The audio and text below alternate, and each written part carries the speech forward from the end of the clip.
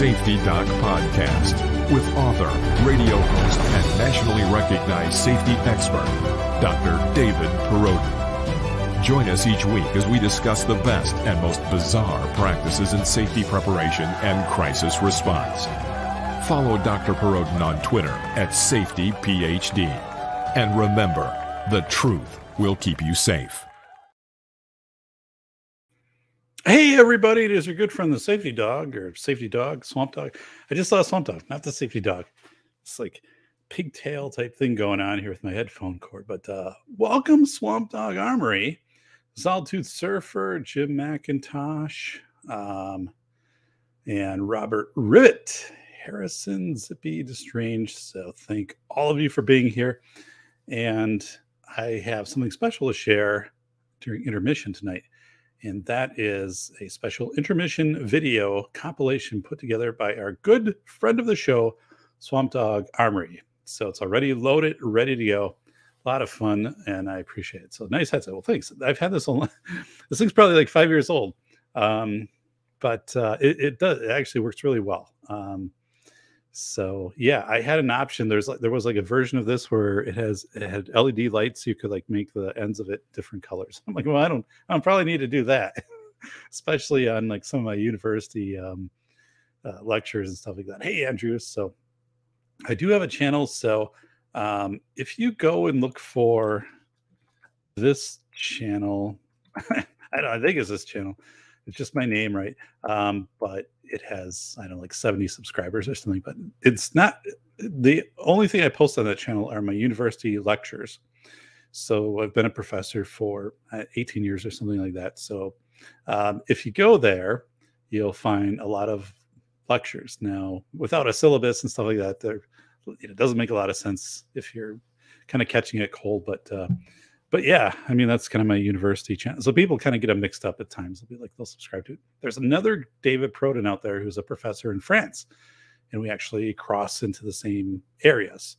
Um, he's produced a lot more on um like on Google Scholar, like you bring up his name, David D. Perrodin versus mine, David P. Like it's got his whole list. I've I got I've got some things, but so it's a good doppelganger. Uh, we kind of look a little bit alike too. And sometimes people will email me and they'll be like, "Hey, is you know whatever," and it's in France or French, and I'm like, "I don't know it, but it's this guy uh, right here." Uh, so it's a good guy.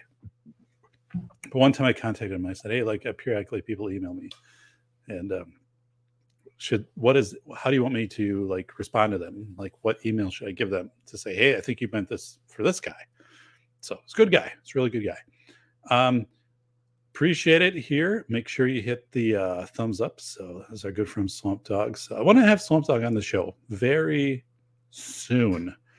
Um, so, Swamp Dog, you know how to contact me. I do. Two weeks from tonight, we do have a special guest on the show. He is a locksmith. Um, and I don't have anything more to share at this time. We've been working to put together the show. But if you've watched The lockpicking lawyer, it's not the lockpicking lawyer, but it's going to be a little bit similar to that. Um, kind of like, hey, for basic like home security or like you want to lock up your bike and stuff like that. Like, here's what to do. Here's what happens when you call locksmith. Uh, here's ways to keep yourself, you know, safe and stuff like that. So he approached me um, a few weeks ago and said, "Hey, I think this would be a great show," and we've since like kind of developed it. This is, you know, his full time thing. He has this, you know, he's a locksmith, so it's going to be great. Like I, have never had a locksmith on the show. Um, so like him, subscriber else. It's Andrew. Absolutely right. Damn it. Damn it.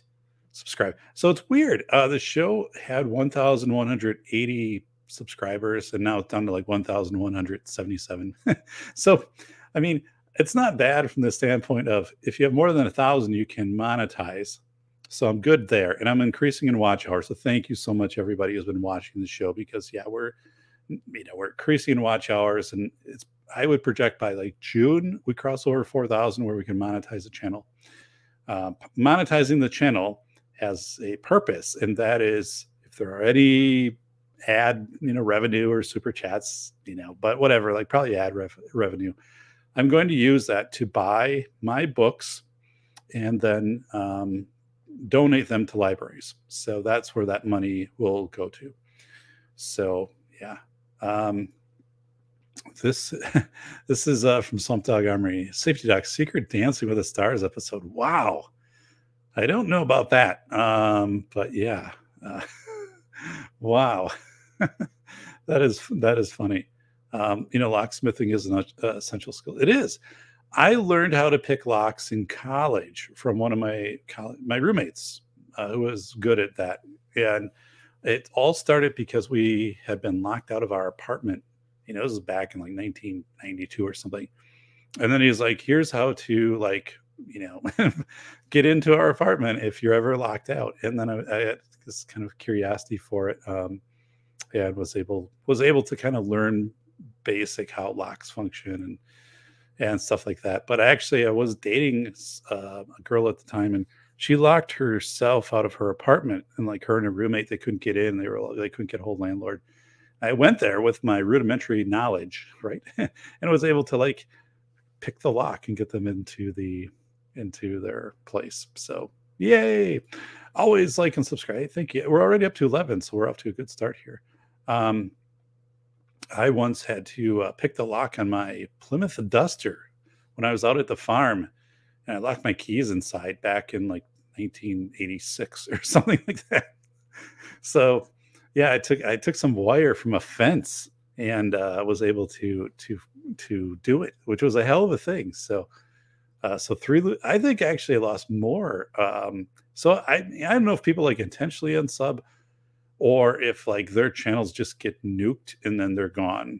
Because um, I don't know if I've done anything to really warrant anybody unsubbing from me. Like I don't, I don't think I've ever unsubbed from anybody. Um, but it would be fun to to see it go like you know 1.2, 1.3, 1.4K stuff like that. So if I lock up my bike, I have to run a cable over. But yeah, yeah, I've got so the bike I use. You know, I bike 100 miles, so my my distance bike is worth a lot of money. I've had it rebuilt over the years, but it, um, I never I never leave it anywhere. Um, or I mean, it, I always have an eye on it, and uh, but I'll even like take it out in the woods and walk somewhere if I have to go and chain it up and you know uh, take the seat with me or like take the wheel off and put it somewhere else. Uh, thankfully, that hasn't been an issue, but uh, but yes, um, yeah. It's MK Joe. Good evening, safety doc and folks. Thank you, thank you, thank you. Ice skating more like uh, with your yeah. It's been cold. It's been a really cold 2022. So like the ice is thick around here. We've had very little snow though, so the snowmobile trails aren't open. So kind of strange, right? like the, the, the lakes have like two feet of ice, you know. So like that's usually the problem with the snowmobile trail is you can't open it because the lakes aren't frozen over, river stuff like that.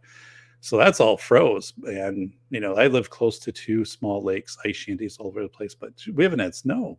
Like you know 12 14 inches of snow the whole winter so just you know not enough to groom trails nothing in the forecast either so i've burned through a lot of firewood um, I started my 13th cord tonight, and I have um, what 18 or 19 cords total I had for this year. So I'll I'll get through. I heat my house with wood, but it's a little closer than what I thought. My, a little tighter. Like I, I thought I'd have some reserve left. I don't think it's going to be that way at all. Um, so at the end of my property, I I uh, I take the ash out, right, and I, I empty out, and I, and now I have like a lot of ash out there. It looks like Mount St. Helens for those of you who are familiar with the 1980 blast, which happened the day my brother graduated high school. It's the Mount St. Helens blast in Washington State. Um, but yeah, it looks like it's Mount St. Helens out there. And when that when we get to you know like some hot days in May or June, I will start to break up that pile of ash, and then I will um, actually spread it on my yard and rake it in because it's it's good for your yard as long as you don't put it on too thick. So I just you know make sure I got a thin layer of ash throughout the yard. A lot of nutrients. I mean, it's all hardwood, you know, oak and kind of you know maple stuff like that. So, um, but right now there's like you know my neighbor's like, what the hell's going on in your backyard there? You know, like helicopter crash. I'm like, nope, nope, it's ash. So uh, it is the way that it is. Um, so, New York Outcast wrote Locksmiths have been targeted in some areas lately for auto key programming equipment. Tell the guy to be smart about this. I will. I'll ask him that question. um, somebody was telling me, yeah, that uh, people can are, are hacking your like remote entry stuff to your vehicle and they can get in, you know, that way. So, but I'll ask him that question. So, um, yeah, sounds good. It's our good friend Nick Tubis. Uh, evening Dog, but it's the best logo ever with uh, A and W root beer things. So, um, yeah, uh, A and W root beers. So we have. Um, so I live close to the owners of our local A, um, not A&W, Dairy Queen. It's not, our Dairy Queen and A&W are like two blocks away from each other down different part of town. And uh, and the guy he died. He was 55, kind of a sudden death type of thing. So I'm like, whoa. Um, so now the Dairy Queen's up for sale, but I love that logo, Mictopus. So um, so I have some. I, I, don't know if I have breaking news, but I have I have news, and I think it's good news. So first of all, for all of you, um, right here, please subscribe, and then I'm going to do my my pitch right here. This is my eight dollar sport coat, by the way. Um, I got this at Goodwill. So my wife was checking out you know things at Goodwill, and, and she texted me and she said, "Hey, there's a sport coat." and it looks like it's in really great shape and it's your size and it's like eight dollars like what do you think and I'm like, yeah, let me, I'll drive over and check it out. So I did, tried it on. You know, it's a little, little big, just a tad big at the like waist because you know they have like a 38 or 42 waist. Obviously, like I'd go the smaller waist, but it's like it's really a good sport coat for eight bucks. so, and I had my I had my uh, Oscar de la Renta uh, brown sport coat. Um, the sleeves hemmed on it because they were a little bit long, and that I I wear that when I teach my university classes or when I do like media appearances. Um, it's a nice sport coat. Like in brown is kind of a good offset color for me. And uh, anyway, I had a tailor in town, Nona, and and she said, "Oh, this is really nice," and, and stuff like that. And she said, "What?" She said, "I have to, you know, I, I picked up this. I have to ask you, like, what'd you pay for this? You know, like." you know, like five hundred dollars. I'm like, I paid like twenty bucks for this. I'm like, it's every sport coat I get off of eBay. She said, this thing is so well made. Like they just don't make sport coats like this anymore. So it's probably like vintage, like 80s. And it's just, it looks great. Um, so I have my roster of sport coats, like five or six sport coats, which I think you know I Febreze the hell out of them to get, you know, to get them through the last couple seasons here because our local dry cleaner closed for good after like 90 years. Um, and uh, I need to drive these to the next dry cleaner, which is like 40 miles away. But I'm going to wait till my my Navy pea coat, my official Navy military pea coat, which I wear, I've worn for 25 years. Um, I always take that in and get it dry cleaned. I didn't it last year. I need to get it in, get it professionally dry clean. Take all my sport coats, get them clean too. But um, but anyway, yeah, it's my eight dollar sport coat, which is uh, it's really nice. So and this this pin right here is from UW Stevens Point. It's hard to see right now, but anyway, um, they they have this thing where they're like, "Hey, alumni, if you want a, a, university pin, just contact us. We'll send you one for free." So I'm like, "Yeah, you know, sounds good." So I I sent you know I said, "Here's my address," and they sent me three of them. So I'm like, "I don't know, well, I'm going to do three of them, but thanks." So UW Stevens Point. Um, interesting because on campus they have this thing called Schmeeckle Reserve. It's this prairie reserve and um, remember the Oregon Trail? There were like there, there are still ruts you can go and see this, like I don't know, in Utah or whatever the hell. Like I I researched this a year or two ago. There are, are ruts from the wagon wheels, but through Schmeeckle Reserve at UW Stevens Point, right here, there are wagon wheel ruts still in there from the 1830s, maybe. Um, so yeah, this is like a documented area and stuff like that. And I don't know, it's just kind of neat. Like points at Point is kind of a well, it's a cool town. It's a college. It's a college town. Uh, it's where I attended some of my college, so it's a good place. Um, we like to go up there in summer. They have it's a it's a Wisconsin River goes through it, and one time they um, one time they dammed the Wisconsin River to do repairs downstream, and it went totally dry in Stevens Point. So this was maybe like eight nine years ago, and they they were warning people don't go out because it's the the mud is going to be like quicksand and you're going to pay for your own rescue if you go out there. There were these signs. The reality was it wasn't like that at all. We went up there and of course my kids were really young at the time so we didn't do anything really crazy like we didn't go out onto the, the, where the river was and it was totally dry but um, but they all kinds of stuff out there: bikes, tires, cash registers. So people are like going out and grabbing things and pulling them to the shore so they could dispose of them, clean up the lake. But um, one time when I lived in Point, I lived there a couple years. They rebuilt the bridge. They tore down the bridge, and um, the one across Wisconsin. They rebuilt it, and I went down there with a lawn chair, and uh, there were a lot of old dudes. Like I was maybe I don't know somewhere like thirty at the time. And there was these, these guys like 60 70 years old and we just would talk like we'd meet up every day and set up our lawn chairs. It'd be like 10 of us and we'd watch this bridge be built for this you know during the summer. It's cool stuff. So um so guys i've i have some news on this too. So with big news breaking news on this book but this is school of errors rethinking school safety in america. If you don't own this book you should. If you're vanessa kitty and you'd like to write reviews vanessa maybe you'd consider writing a review for this book. But um, so yeah, this is a hard copy and ebook, but it also is going to be re-released. The publisher notified me last week and said that this book is popular. It's in hundreds of libraries across the world. This book is going to be re-released in 2022 in paperback. Um, so what that means, I'm not sure. Obviously, it will be. Um, it won't cost as much as the hard copy. This hard copy 30 bucks. This thing I've had since it came out in 2019. And there's, I mean, the corners aren't bent in, you know, the, the spine's not giving. This is a great book. Like it's just made really well. Like, right. Um, you could defend yourself with this book. I mean, if you had an alligator charging you, like you could, you could take care of it with this book. Um, but yeah, there's going to be paperback versions. So that's good for me. Um, and anyway, this is the most honest book about the $3 billion school safety industry. What's happening in school safety? I know it might seem boring, but it's not. If you're a parent, if you're a teacher, if you're a taxpayer, where's all these dollars going? You know, for bollards and stuff like that. It's just crazy. Um, this is the truth book. I knew when I wrote this book, I could never be an administrator again. No one would hire me because this, you know, it's just it's it's the truth, right? And um, and yeah, and people will email me and say, "Thank you so much for writing this book. It allows me to have a conversation with my school board that I couldn't have had before."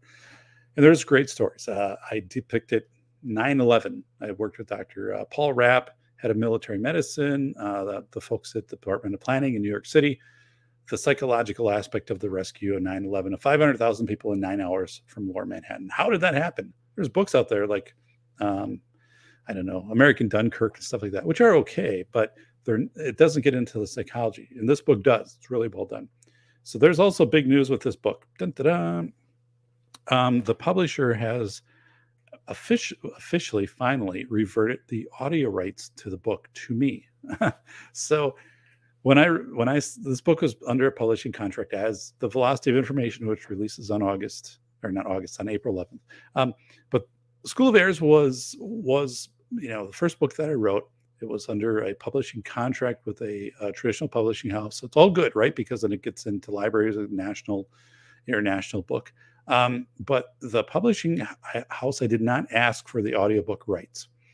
And so I, I, I, re, I approached the audio or I approached the publisher um, a few months ago and I said, I'd like to have the audiobook rights because you haven't produced the book in audio it's been out almost three years. It's it's continued to sell well. That's why they're re releasing it in, in paperback. So I don't know what the price will be, but I'm guessing probably under 20 bucks for a paperback for this. So it's going to be a nice accessible point to keep the book going. So they, so you know, we had this discussion. Oh, I don't know, you know, if we're going to, maybe we'll do it at some point in the future and whatever. I'm like, well, come on, like, release the audiobook rights to me. So last week they released the audiobook rights. And the condition was we'll release the rights to you for an audiobook, but you have to narrate the audiobook. so the velocity of information, which releases April 11th, releases in hardback, paperback, ebook, and then it is also being produced in audiobook, although that releases later. Um, so, but audiobook has been such a professional actor, professional narrator doing the audiobook, and you know that's so, but for School of Errors to be an audiobook, the publisher is like, you can do it, but you have to be the one that narrates it. And I was like, yeah, I'm up for that. So game on, publisher. So, um, so the kind of the breaking news is um, gosh, my I have like a gray shirt on here, which doesn't seem to have. it seems to be formless, like it's taking on all these wrinkles and different uh, geometric patterns today. I don't know what's going on here, but um, but yes. Yeah, so my publisher. Uh, so anyway, I I contacted a couple um, recording studios in my area, and actually one in my town, which is two miles from my house. Been in business for 20 years. And I said, here's what I'm trying to do. And they're like, yeah, we can we can do this for you. Not only we can do this for you, we want to do this for you. Like they they've done other um, they have a profile of 20 years of, of also doing you know like some narrative stuff and, and community outreach and really good really good place to, to work with so um, i i start wednesday morning and i will be producing the audio version narrated by me david Perrodin um, I'll be narrating School of Errors, and I'm looking to uh, release it in August. And yeah, so it will release independent of the publisher and be accessible to libraries, be accessible to you. Um, it'll be affordable, right? And um, and you'll get to hear me. So I don't know if that's a good thing or a bad thing.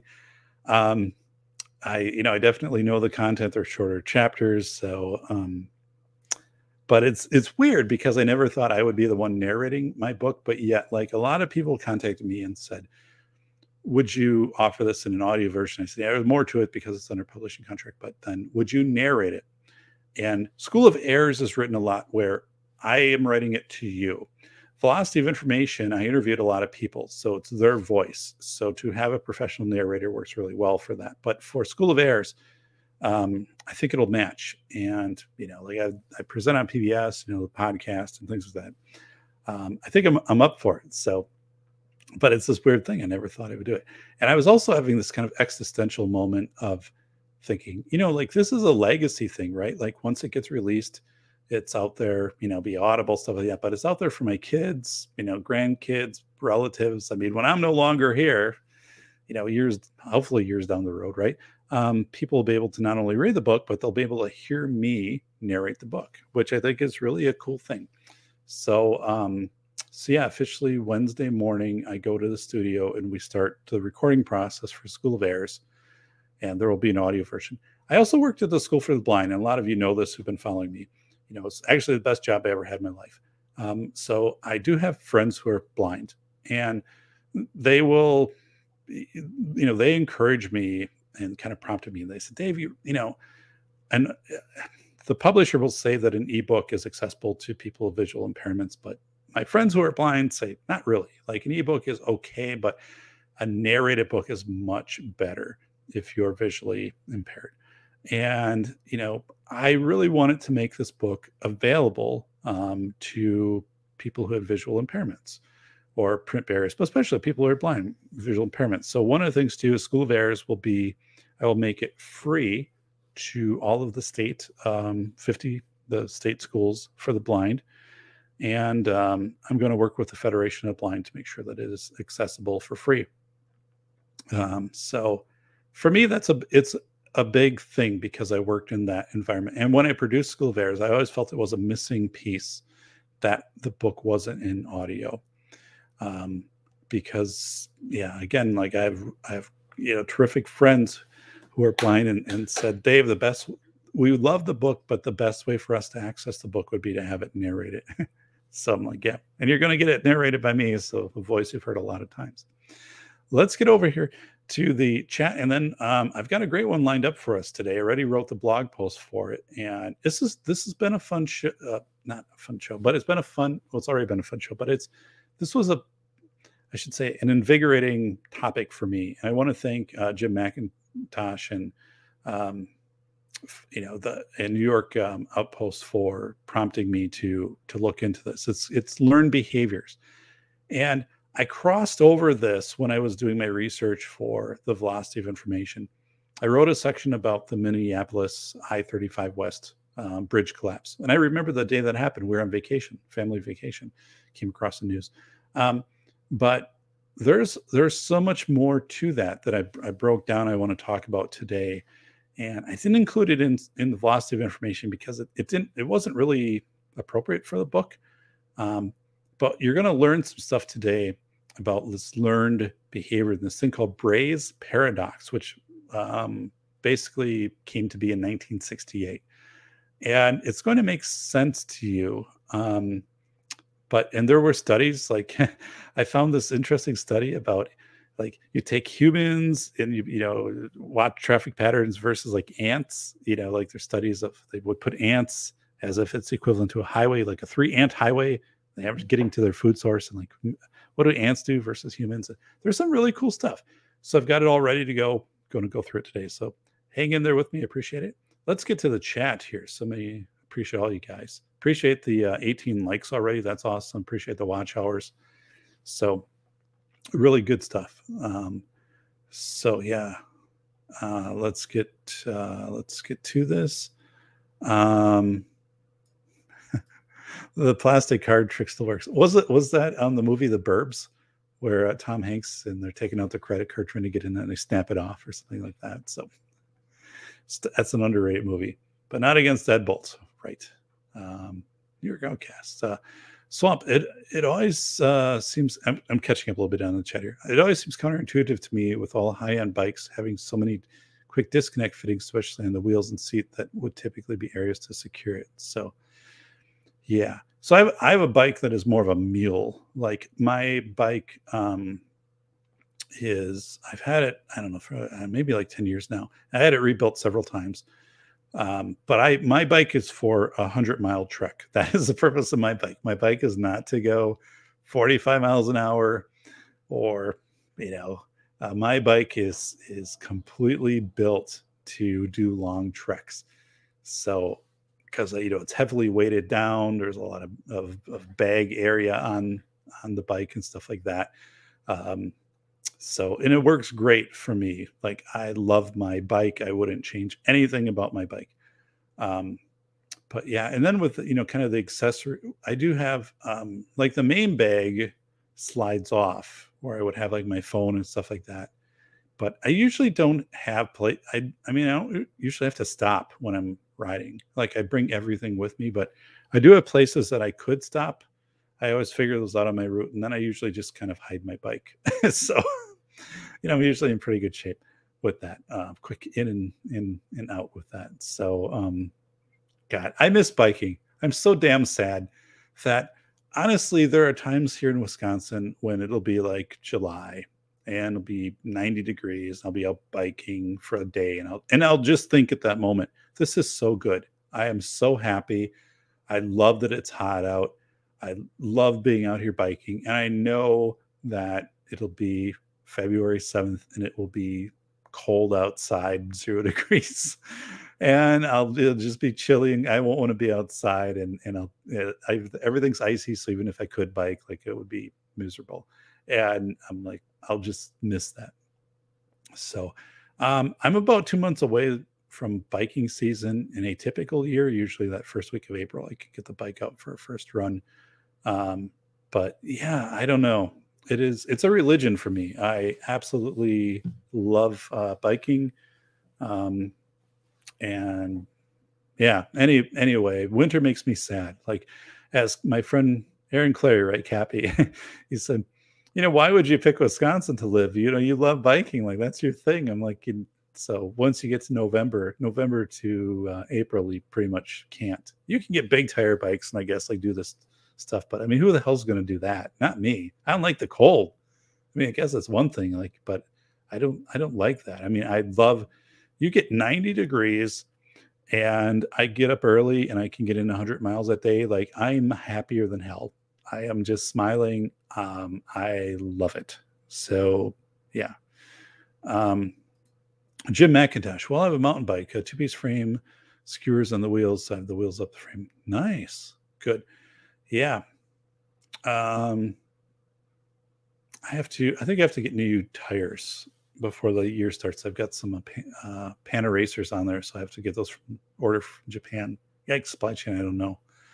I'm pretty good shape otherwise. Um, I re- it takes me an hour to prep my bike. Um, so yeah, it takes me about an hour to prep my bike. I'm going to do a video this year, uh, just um, about biking.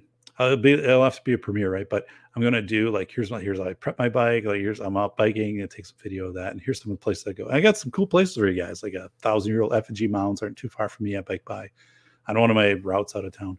Um, but yeah, so I love biking, and uh, yeah, actually, I mean, I don't know, really never had a bad experience. I wiped out once, like severely, damaged my body, and and they rebuilt the bike, thankfully. But uh, but that was bad. I got a concussion off of that and stuff like that. That was there's just things that happen, you know. Bike long enough, you're going to have those things happen. Uh, I still have all the scars from it. Um, yeah, that was weird. That was that was the time I I so I had this concussion. It was a horrible accident. It was hor- I mean, it was bad. And uh, and then I biked back after like I didn't break any bones. Like maybe cracked ribs. Um, and I biked back and I only had one gear. Um, and I was bleeding my my leg, everything was my I was bleeding the whole time. Like my leg was all cut up. And um, I mean it was a, a significant injury and I, I, was concussed. It took me hours to get home and uh, I walked into the house. My wife and daughters were at her mother-in-law's like over that weekend. And um, I don't remember all of it. That's the thing. I I knew I was I, I had to go to the doctor. So we have a hospital like a mile away. So I went in and they're like, Yeah, you're concussed. And hmm. uh and they said, I don't know if it was they said not to sleep or what. I don't know. Anyway, but I watched The Dark Knight like five times in a row, which when you're concussed is really weird because you become part of the movie.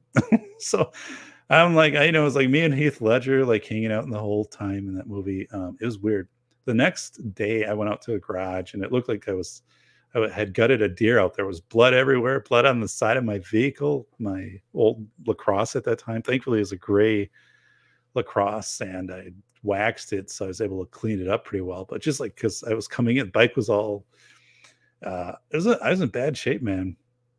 I was in I was in rough, but I you know I I started biking like a week later. I I biked again and I started to run again and uh yeah, stuff like that. But I went out the next day and I was finding like parts of my bike still on the side of the road. I don't know. Nobody helped, but it is what it is. Um, I would uh, know why people would break in and you, you get lost to the tech online on Amazon or other e-shops without the risk of breaking into a shop. Who would say criminals aren't smart? That's from our friend Swamp Dog Armory. By the way, people are asking me, um, so my book, The Velocity of Information, is releasing on April 11th. Let me bring that uh, up real quick here. Thanks for being here and sticking, sticking with the doc. Um, this will be a great show, so trust me. But right here. So it's a cover of the book, right? The Velocity of Information. Actually, the publisher sent me the complete cover today, including the back art, artwork, and endorsements and stuff like that. Everything looks great. So I'm like, yeah, it looks good. Um, but but yeah, so um, I don't know where the hell I was going with that, but let me try to make sense out of this. So um, oh, so people have been asking me from other countries, right? They're like, hey, would you send me a signed copy? I'll pay you. Like, what does it cost? Be like, I don't know. so so I've taken, you know, School of Errors, which is similar size positive information, a few more pages, but take it down to my post office and I'm like, you know, here's this address in whatever country. What would it cost to send this to there at the cheapest like level? So like, here it is, $22, 10 cents, whatever. So then I email people back and I don't have an e-commerce site set up, which I think I should. So if anybody wants to help me with that or just send me not eh, I won't remember it from the chat, but if you can post or send me an email or something. Um, I I need to do that because I get that request fairly often. And typically, either I just say, I'll try to figure it out. I'll take a book to the post office, get your address, and then I will, you know, you'll have to PayPal me or something. And, and it usually works. But now it's the request is becoming more frequent from people in other countries who want signed copies. So I need to have some process to do this. It kind of makes sense. Um, so, and every time I go to the post office, like they're they're always like not happy. Like everybody's angry at the post office. Like the post office workers are just not.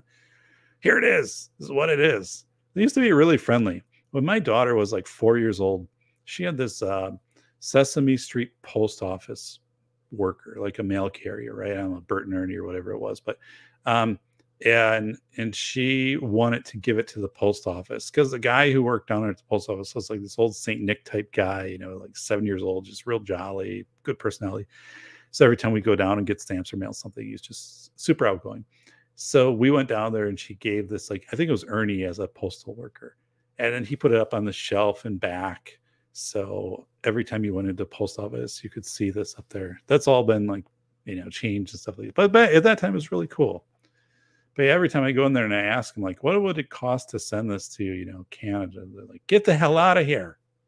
Out of here. Who sent you here? Swamp Dog Armory? I'm like, no. Jim McIntosh? No. Toy Town? Maybe. So, um, so it's our good friend uh, Toy Town Inc. Thanks, buddy. So, uh, All Pro Lemonton. I love the bike. Always love the bike. So my my screens, my background screens are. It's a picture I took of my bike, um, just in, in, a place where I would always kind of stop for lunch on one of my my routes, which is literally like a thousand feet from these thousand year old effigy mounds. So, Guns of Barbecue, Jonathan Berger, thank you so much, buddy. I did uh, repost our show from a few weeks ago talking about truckers, which is especially relevant right now with what's happening in Canada, right? So, thank you so much. Um, Bull Rush, our friend from Texas, Bull Rush, who collects 22 inch monitors. So he has an entire house and garage and storage shed full of them. That is his thing 22 inch monitors. If you want to get rid of one, you just want to buy one on Amazon or eBay and directly send it to him, contact Bull Rush. He's the collector of 22 inch monitors. Um, eight dollars. Heck yeah. Yeah, this the sport coat, eight bucks. I never paid a lot for a sport coat, right? I Alfie paid, and uh, usually it, it, works out pretty well for me. Um, but so, Doc looking sharp. That thanks. This sport coat is. Um, I I lucked out. I really did. Uh, and they had another sport coat which was pretty cool. Just wasn't. I would have had it too much tailoring needed to be done on it for it to fit. But uh, but yeah, I'm like eight bucks, you know. But um, yeah, it was it was probably someone's like is they're going to be buried in it, but they're like, oh, we're going to cremate them. So take the sport coat off. We'll donate it to Goodwill. So um, Jim McIntosh, I think, yeah, tailors are oh, the tailor here. Yeah, it's a lady. Her name's Nona. She's tailored a lot of stuff for my daughters. They're in dance, so of course their dance outfits need to be tailored. Uh, but she's done, you know, affordable, couple weeks turnaround. So it's one of those things where, like, when she's gone, like, I don't know if anybody else will take that up. She's probably been doing this for like 50 years, but I appreciate it. I lost my uncle's wool USMC wool overcoat. Oh, sorry to hear that, Jim. Yeah. Yes, mine is a USMC. No, mine, uh, excuse me, mine is uh, US Navy issued and uh, 25 years. So things like new. And the thing was, it also survived um, when I was in that horrific uh, car accident in 2019. Um, I was wearing that coat and the coat had zero blemish. I was beat up really bad from the accident the coat was just the coat walked away on its own, just shook the glass off of itself and was like, "Hey, I'm the coat," um, which is weird. Yeah, no, nothing, no tears, no buttons, no mending or whatever. I was like, "What the hell?" So, yeah, um, interest. I mean, that that might be a show at some point, but that was that was an accident that I remember the insurance um, appraiser, whatever, like they said, "Whoa." I am surprised you survived this, you know, after looking at the vehicle. And when I went to retrieve my personal items from the vehicle um, a day or two later, like I was like, holy God, like this is bad. And the thing was, like, I pressed the CD player and it exit it it um, puked out the CD that I had the Meatball soundtrack, which is weird. So it was its last effort, giving its last energy to me. But that was that was a that was a freaky setup there. Um, Jim, they just don't make those anymore. True. One out of 10 people who went to the Oregon Trail down, yeah, Oregon Trail is wicked. And the fact that you can still, you can still go there today um, and see the wagon ruts. So, I mean, it's pretty amazing. Like, I'd like to do it. I mean, like I have, you know, two teenage age daughters. So like they wouldn't be into it at all. Like it'd have to be me solo. I'd have to like find someone who would be interested in that. So Swamp Dog Armory. That's kind of the thing, right? Like I want to go to like Gettysburg and stuff like this. But when we went out to South Dakota a couple years ago, and we've been out there before, but you know, it's like uh, when you try to to arrange things that all of the family would be interested in, it kind of eliminates some of the things that I am interested in. So it is Vanessa G23. Thanks all you guys for subscribing. We're already up to 18 thumbs up here. So thank you so much for the thumbs up. I appreciate that a lot. I appreciate we had eight people or eight um, comments last time too, which was really great. So I appreciate that. Um, hey, it's Vanessa. Hey, G23. We're going back and forth with hey, hey, hey, hey, hey, hey, hey, hey, hey, hey, hey, hey, hey. Um, our good friend, by the way, Robert Ribbit, Ribbit Harrison. So always appreciate uh, Robert's been a long time um, fan and contributor here in the show. I think I've seen that on YouTube under audiobook stock. Um, so uh, yeah, what? I don't know. I don't have my books aren't out in audio right now. They will be though. Um, so the velocity of information originally with that contract that comes out as an audiobook. It's delayed, it'll come out a little bit later, but that's an audiobook. Professionally narrated audiobook. Um, yeah, then my and they'll all like pair up like the ISBN numbers and stuff like all match. So like if you search for my book, like the audiobook option would be there. But I'm looking at August. I figure if I can get it by August 15th launched, it'll be it'll hit that back to school wave, right?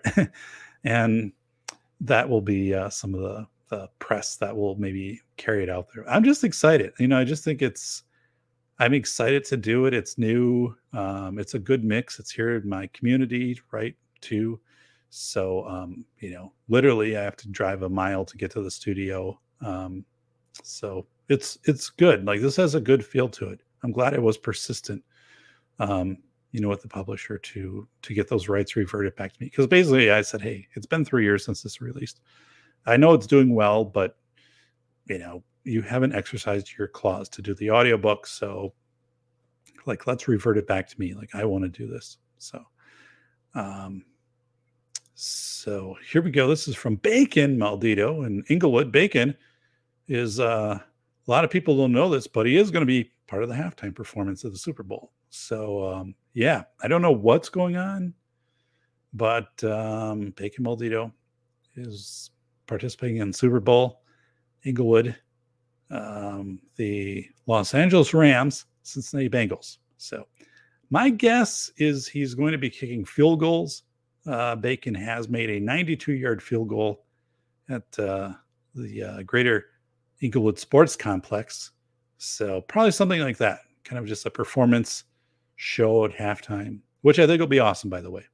So Bacon Maldito, catch him Sunday at the Super Bowl. Um, where does Doc's books can be used as makeshift bulletproof armor? Yeah. What was it? Teddy Roosevelt was shot in in uh, Milwaukee, and he still went on to give a speech. Although, like his speech, like slowed the bullet, but it still went into his chest. I was at that location where that happened a few years ago. Like there's like a sign in the doorway or something saying, "Hey, Teddy Roosevelt was shot here." And like, holy smokes! Um, hey, CNT Designs. Hey, you're new, so please subscribe, buddy. Hold on, kids play nice. I have to put the kiddos to bed. Thanks, buddy. Thanks, thanks, thanks, thanks, thanks, thanks, thanks. Grabbing coffee. Oh God, yeah. My wife uh, said today, if you're not making coffee in the coffee maker upstairs, I'm going to like put it downstairs. So, which means like I need to start making coffee again because downstairs just going to work. What's up, y'all? Hey, it's DLD. DLD is uh, this guy is making trailers for movies. It's kind of his thing. DLD and Tom Hanks making trailers. So it's good. I don't have the Apple stuff, so it's a little harder for me. Uh, it's you know, I know Apple has all the cool stuff. We'll prepay for audio. So yeah. So when my book, so when both books release, um, audio will be an affordable version, probably like the least expensive for all of them. Um, but for School of Errors, audio will be really reasonable because the rights revert to me. I get to set the price on that, and it's going to be low because I want people to have an act, have access to the to audio. Plus, I'm not a professional. Audio. I think I'm pretty good though. Like right, I know I'm, I'm kind of like I've been on PBS, you know, I gotta like people like remember our friend Matt Hoover at CRS Firearms. Understand, you know, thinking of Matt right now, but Matt, um, uh, I've been on his show, you've been my show, but then like he called me up one day and he's like, Hey, like you got a really good voice. Like you got a, like a really just like good podcast radio voice. I'm like, well, thanks. Cause I know he's very into the analytics. So it's from Swamp Dog Armory. So many fellows. Hey, hey everybody. It's a good friend. Um, Doc wanted me to narrate his book, but sadly had to cancel that. After massive like, okay, fake and oh my goodness, yeah. Oh my goodness.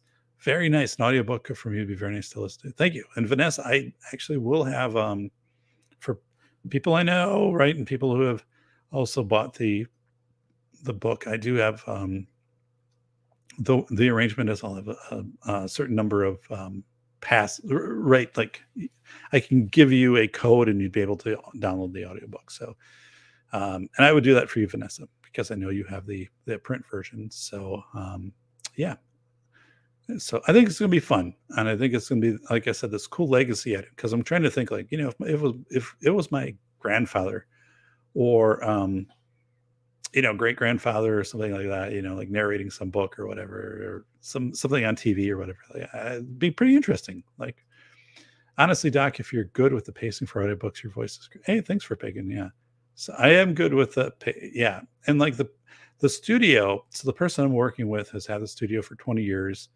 um, and knows this stuff, right? So like understands the pacing and of course has all the technology to make sure all the files are rendered correctly. And so I think um, part of it will just be that I'll have to keep the pace up.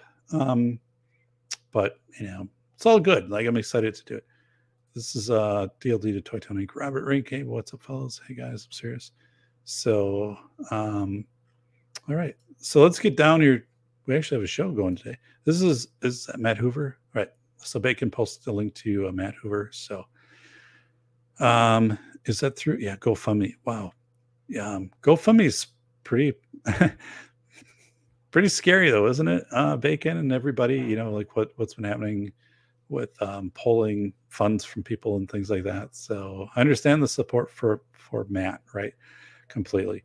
Um, I I am hopeful that you know GoFundMe um, treats Matt with uh, the respect and dignity that he deserves in this fundraising process. So, looking forward to having you on the Swamp Talk show. Yeah, absolutely, Swampy. You bet. Um, oh, by the way, like no Apple pro- products. Yeah, I don't have any of this. I, have been approached by two um, by two vendors, by two businesses to um, to sponsor the show. So what that means is I don't really know because you know I, I obviously I I pay for whatever the expenses are to run the show, which aren't a lot because I run it because it's a StreamYard or the other stuff. But um, so they are you know organizations that you would know or or like businesses, but they've offered me. this is in the last two weeks. They they've said, hey, like we like your show and stuff like that, and we'll we want you you'd have to run like a 30 second banner of ours or an ad or whatever and we will give you um, x number of dollars of merchandise you can buy from you can get from us for free. But i'm like yeah i don't know. I, it just wasn't for me. Like i'm i don't need any of this merchandise and man, manscaped funny something to me. No it wasn't. It was also it was survival stuff. So there was one where it's like pretty cool backpack and stuff like that but i'm like you know um, the if you go down the sponsorship route on a show like this, um, it just isn't. You know, screws up, I guess, monetizing and just other things, and you know, so I did consider it. I was kind of going through and like saying maybe some of these things, but but it was kind of fun, you know, like you know, people saying, "Hey, like I'm whatever from here. Like, give me a call. We've seen the show, and um, you know, we can we can give you product right? So we can give you X number of dollars worth of product if you plug our show. So, but I'm like, I don't know how many short sleeve suits I need from JC Penney's. So, um, give send go seems like the better option right now. Yeah, for fundraising. I don't know. GoFundMe seems really. I don't know. A lot of questions there. Um, I'll give ghosts um, similar to Fummy. Yeah, I don't I don't know Jim enough about it. Um, I don't think it has like a blue check on Twitter. So Raid Shadow Legends, yeah. I hope GoFundMe reversed the decisions giving the fund money to group. I think what they did, Vanessa, is they refunded the money free of cost to the people who donate it, but not to the group. So, yeah, I don't know. It's just, yeah, I guess so, to be honest. Just been told so. Okay. Well, we're 50 minutes in. It's been great. Let's get into today's show. Um, I appreciate all of you, by the way. Um, and thanks for the thumbs up and the kind words. So, um, as I as I pull up my notes here, I'm just going to move myself out of here and put the show logo up. So this will just be a second.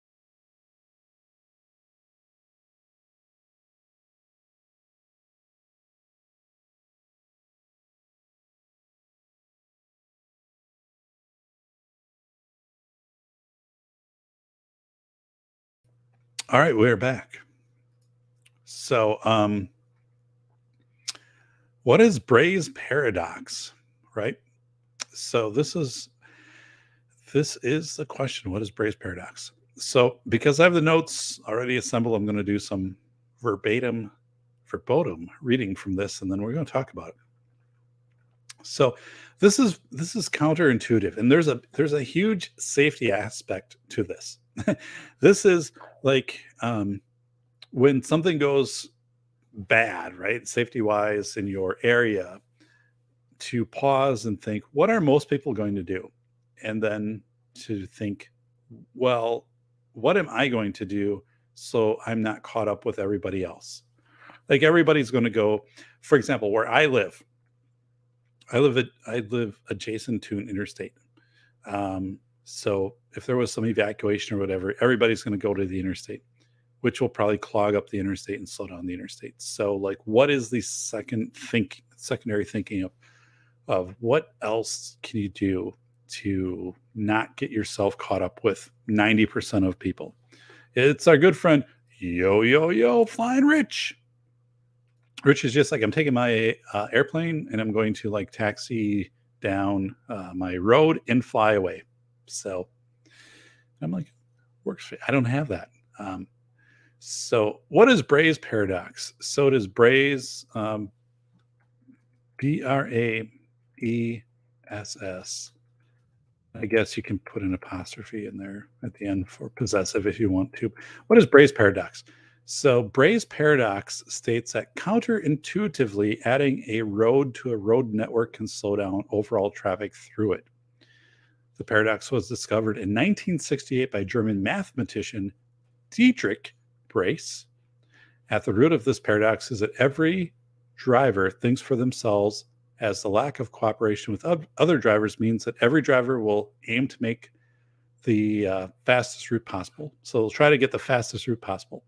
Hence, the shortest route becomes overwhelmed and also slows down merging in traffic from lesser traveled nodes. So if you're on a side road, you're trying to merge in, it's going to be hard because like this main road's overwhelmed. Um, so you, you cause delays on those side roads and it just kind of ripples. Interestingly, in, the, in New York City, Boston, London, and Seoul in the last five years, traffic congestion decreased um, as they took away roads. Uh, so they, they shut down roads that were going through cities and they found out that within about a week, congestion actually decreased. So let's get in. So Braess paradox. I do have a an image I want to bring up for this. Um, I should have it set to the what? No, it's making me go through it. I'm to bring it up. I have it set to the exact spot here. So here we go. It's to come up on the screen. Um, share screen. Here we go.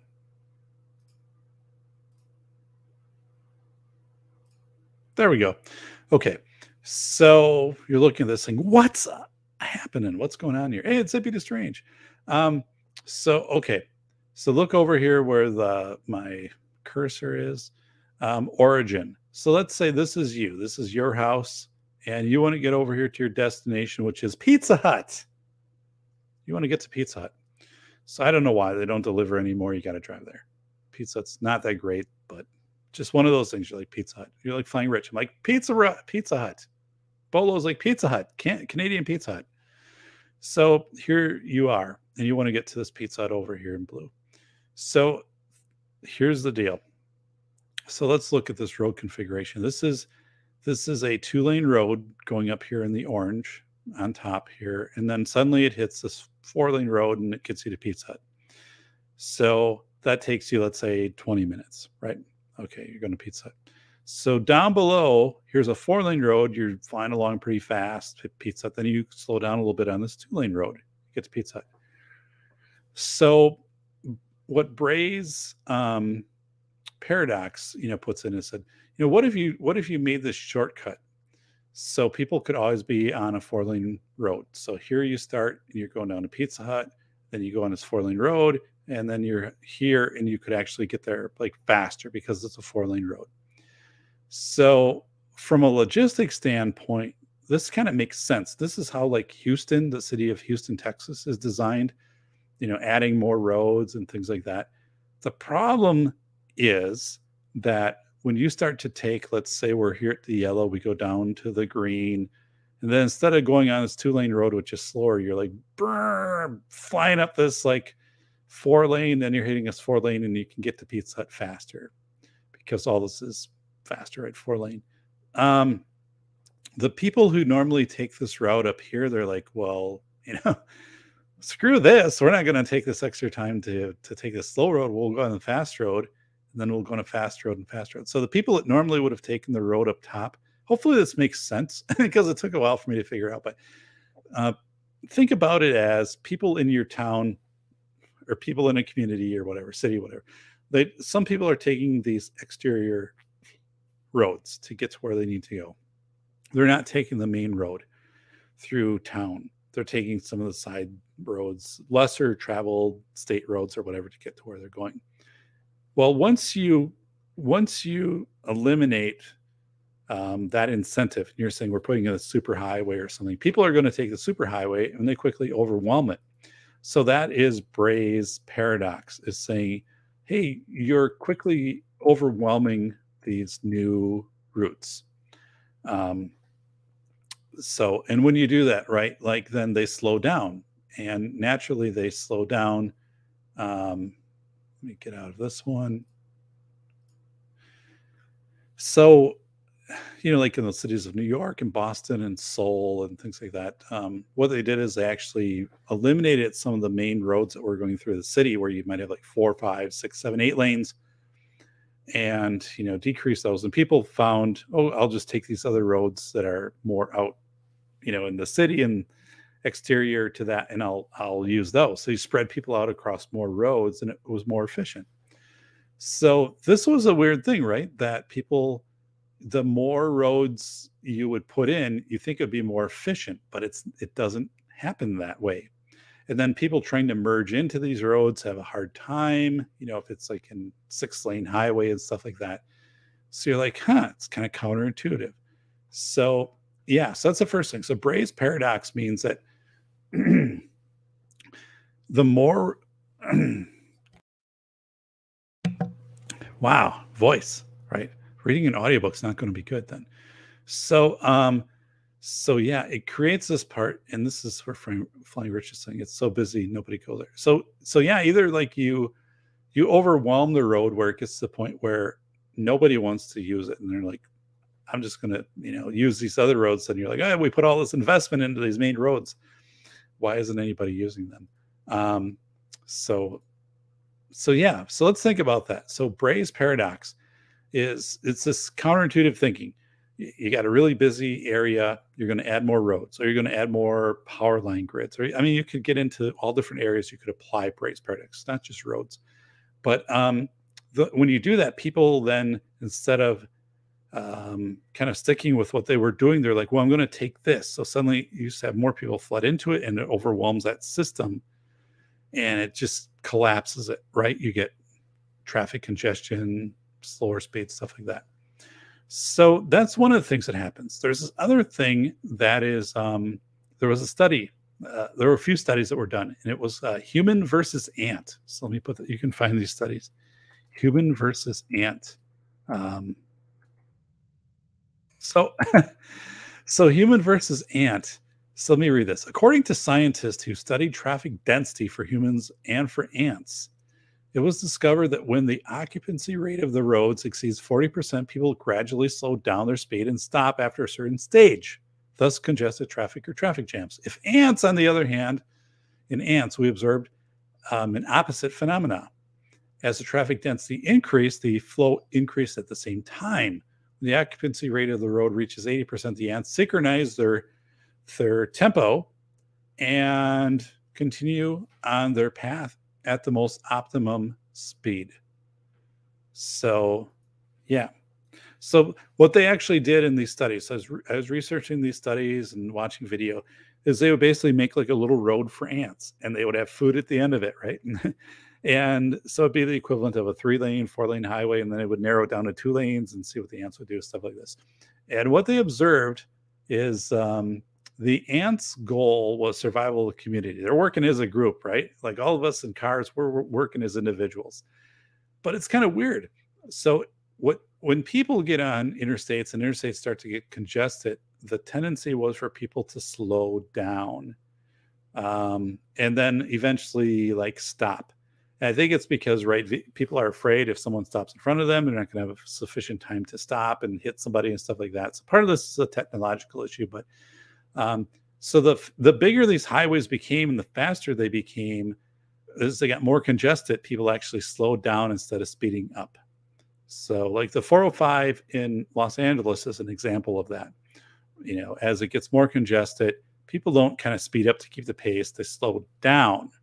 Um, so this is interesting stuff. So what the ants do is, as it gets more congested, the ants will go faster to keep the flow going. And then as they like narrow it down into like a two lane highway, the ants kind of naturally just like the people that are getting close to two lanes speed up a little. The two ants speed up side by side and they go. The next ants speed up side by side. So it's fascinating to look at this, right?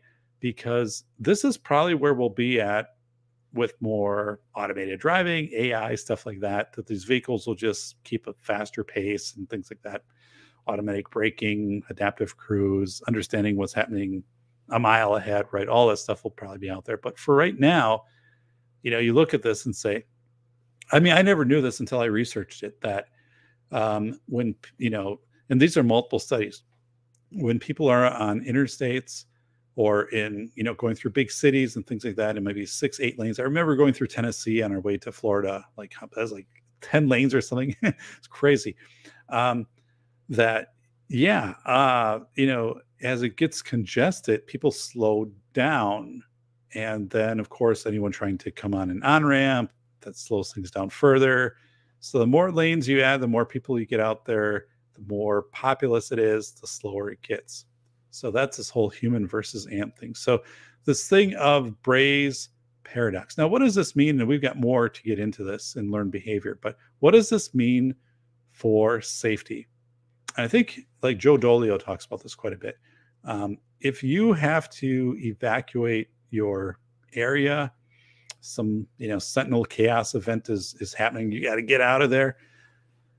The you know if you're coming onto these you know your your interstates and things like that, like those are going to be overwhelmed, right? That's what everybody is kind of thinking. And once those become saturated, they will slow down that's the part of this study is once they become saturated, like they don't continue as a speed of 60, 70, 80 miles an hour, the speed decreases to about 40. And the more congested, it slows down even more than that. So you can kind of see this in Florida, right? Like Rich, like when you see video of people like, you know, here's your routes to evacuate out of hurricanes and stuff like that. Um, you know, they'll keep the I 4 and stuff like that going. But I think there's a real uh, essential point in this of uh, thinking counterintuitively in safety.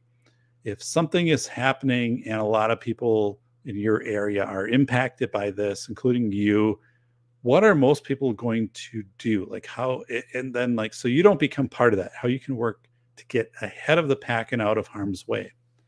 So I think there's a lot to that. I wrote about that in the velocity of information also, somewhat in School of Errors, but philosophy of information to think of what is what most people are going to do and then try not to do that. Don't get tied into that. Um, I was just thinking about this recently because we have we have some very um, you know very secondary roads in our community which will lead us around the the interstate. You don't even have to cross over the interstate. And like you know, um, and I was checking some of these out over the the past couple of weeks and i'm like this would be the route that i would go. Like i could get up 40 miles easily away from here. You know i'm kind of closer to a metro area by taking these these lesser roads which i don't think a lot of people would take.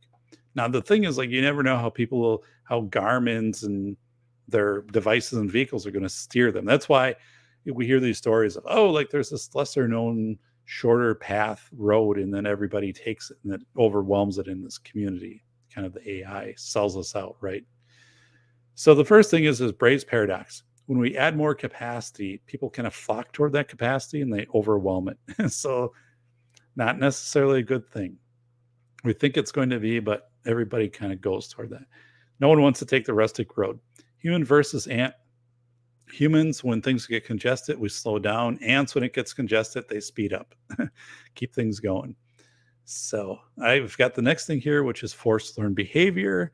Um, New York Outcast uh, had brought this to my attention, so I'll get to that in just a second. Let's go over to the chat though first. Um, the chat. Um, this is from uh, Rich Ansel Crash and Burn. True, right? Because if you're driving a vehicle in high density at 70 miles an hour, somebody makes a mistake. There's big consequences for that. So this is something where once if there's you know the thought adaptive cruise comes into play um, ai and things like that the vehicles would be able to operate at a higher speed because not only would they be aware of what's happening in front of them but a mile down the road um, i have a friend who works for general motors and said you know that's kind of our goal right as we want to have all of these vehicles to be able to interconnect at some level so they understand the mosaic of what's happening with other other vehicles around them with like in a mile so we'll see if that happens um, so um, this is G23, who's probably a new subscriber. Thanks, G23. The goddamn bacon. I know he has great insurance and they will just cut a check. So, right. Uh, G23, you got to leave a, a, lane free for Flying Rich unless you want him hitting Flying Rich or Robert Ribbit Harrison. Or, um, yeah, uh, you know, Bacon Maldito. I mean, there's a lot of people who just kind of just bolo Bolo is like 100 miles an hour in Canada. Um, yes. So Flying Rich just presses a button, the wings come up up on the vehicle, gone. Uh, Swamp Dog Armory, that's analogous of a highway of self-driving cars that are network. That's the goal. So I talked to a, an engineer with uh, General Motors uh, a few months ago, and he said that we're planning in the next 10 years that the V, at least General Motors vehicles, you would think it would be all vehicles, right? That they're this would be kind of standardized, would be able to understand what's happening. So if like four vehicles a half mile ahead are all hitting their brakes, your vehicle would recognize that. Like there would be some system for that happening. Um, so there can be great efficiencies built into this at cost, right? By the way, when a kill switch in your vehicle, so I don't know about that. Um, New York Outcast. I only hit one car. So, um, human error is why we don't have flying cars. So, yeah, the Jetsons. We are supposed to have flying cars by now. So, what a sham, right? That show was nowhere near accurate of predicting the future. Uh, but Flying Rich is uh, perfect at flying. So, but yeah. Um, inter- this is interesting stuff because this whole Braess' paradox hypothetically would be solved with AI and technology. So, you know, what does that mean um, for roads and stuff like that? Or would we need to increase? Could could we go back to increasing roads then because the AI would know how to handle it? Or I don't know, but um, New York Outcast, I would have better luck with Flying Rich hitting my house. So Flying Rich is a good guy a New York Outcast. The average car has no lift. A car is more like a flying brick, but someone made one recently. So it's so weird because you know we have we have the two vehicles, right? My wife drives the SUV. I drive the the very low to the ground 300 horsepower look, you know, Buick, and uh, and they're completely different vehicles, you know, from profiles to like the way you drive them and stuff like that. So, um, yeah, like um, anyway, it's it's just funny. They're they're so different. Uh, love comma AI. Hi, driving car. Comma AI was legitimately pre- impressive. I have no idea what that means. I'll have to look it up. How hard is it to get an auto gyro and a license to fly? I uh, know, Jim, um, but I, we're not. I, I shouldn't say we're not far from that. We are on a trajectory, whether we want to acknowledge it or not, to hit singularity in the year 2042 or 2048. As a scientist, I can tell you that with at least my confidence as a scientist. I think I'm a pretty damn good scientist, by the way. Um, so, meaning that um, AI, robotics, and interfacing with humans will hit a point of being, I don't know, I wouldn't say equal, right? But but kind of like being able to to synergize in the year 2042 or 2048 like within that six year range we should have this happening if you want to know what i'm thinking about it's really like the movie i robot with will smith if you think about iRobot, that will happen in 2042 to 2048 but like kind of the first half of the movie where it's just showing the ability for robots to work in society and ai and stuff like that not like the second half of the movie where it's all negative science fiction crazy stuff. Um, so i don't think it's a bad thing but that's kind of what i'm talking about is this whole thing of uh, uh, uh synchronizing that's there are multiple, multiple, multiple studies. 2042 to 2048 is when we're going to hit that. So um, anything can be hacked, blocked, or simply glitch if it gets outdated. I prefer true. I mean, I'm not. You're right on, New York uh, Outcast, completely. Who's to say? I mean, not who's to say. I mean, it's probably likely to happen, right? So I kind of think I, I uh, to um, when Will Smith was driving, and then those robots start jumping out of the truck in front of him, and he like takes over on the steering wheel. He starts driving, so robot driving. But um, but yeah, I I do think I think there'll be that version at least in our lifetimes. Um, I don't anticipate to live longer than 100 years, by the way, but um, I I don't. I think there'll always be that that hybrid, but I think there will be a point. Um, you know, 2050 on where you'll have just autonomous vehicle options. I honestly think most people will prefer those. Think of younger people. I just I think most people will prefer those. Not of our generation where we understood, you know, the eight cylinder, you know, double barrel or four barrel, you know, vehicles and and doing donuts and all this stuff. I mean, but the if you're born, you know, after the the year 2000 and things like that, I, I think you're going to if you if you offer these people a choice and say, do you want a self-driving AI vehicle, and there could be these issues, whatever, but likely, or do you want a vehicle that you can have some autonomous control over? They'll say, I want the AI vehicle. So I just believe that. Oh heck yes, says TLD Dark.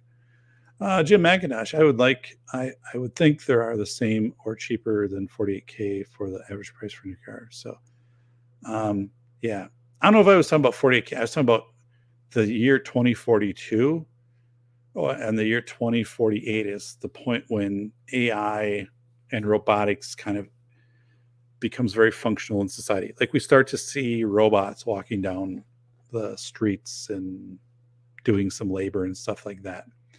Um, that is likely in the year between the years 2042 and 2048. So, yeah crazy. Yeah, 48k for a new. It's crazy the price of new cars. Yeah, like I we sold our old our 14 year old car at a much higher rate than what we would have got it for it, and then but our new vehicle was expensive. Um, just I don't know. So I'm hoping to keep my uh, night my 2017 Buick LaCrosse for years. So no no intention to get rid of that anytime soon. I watched a swarm of drones in a hangar actually create a uh, hive mind under their own control inside hangars and tri- yeah true vanessa that and i wrote about that i don't know if it's a velocity of information a journal article or something but like that's out there so the real threat in like the military threat is like what do we do if uh, uh, you know there's a drone launch on a carrier or something right like how do we how do we counter that you know these um, So there's an interesting thing. If you ever, you can Google it. It's um, a drone landed on the Queen Elizabeth or Queen Mary. Was I don't know. Um, warship back like four or five years ago. So this guy's just out there with his like recreational drone flying around, and he's like trying to get pictures of this like, uh, you know, aircraft carrier while it's docked and his battery's low, and it lands on the ship, and he's like, "Oh Christ! Like, what am I going to do now?" And uh, and so anyway, the I don't know what he I don't know how he got it off. Like if he was able to like give it some time and then like boot it and fly it off or whatever. But um no one recognized it, right? Like it was just sitting there on the deck of the aircraft carrier for like an hour or two, and then finally like he flew it off and he went immediately to authorities and he said, Hey, like I was just taking some pictures. I'm an enthusiast. This thing landed on the deck. Um, I don't want to get in trouble or whatever. And they're like, okay, like just go home. Like you're fine. Don't worry about it. It's like, do you want my address? Like, do you want? I I feel like I've I shouldn't have done this. I'm like, you're good. You're solid.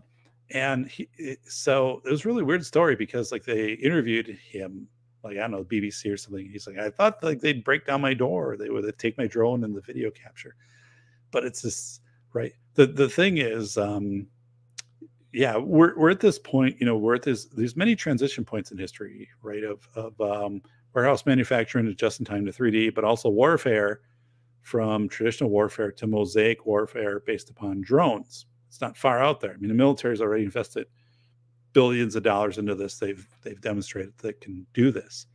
So yeah, Vanessa's like, what a way to ruin my evening. No. So um the DLD Bolo, the single most skilled motorcyclist. Bolo's Bolo drives on snow. A lot of people, snow tires on a motorcycle at 100 miles an hour is a hell of a thing. I wouldn't even want to try it. Bolo, he's like, I've got it. He can balance himself in any position. That's kind of his thing. So as the motorcycle starts to like weave over, like he just he adjusts. It's all about balance. So, but that's Bolo. It's Canada. Um, Comma AI is a self-driving kit for your cars too. Oh, I didn't know that. I'll have to look that up. Wow. So that's pretty cool. That's wow. Um, whoa. So good stuff here. Uh, New York Outcast. This is from Bacon. The F4 Phantom was described as a flying brick. It's proof that you can um, fly, make anything fly big enough with big enough engines. So, whoa. This is our friend uh, Zippy.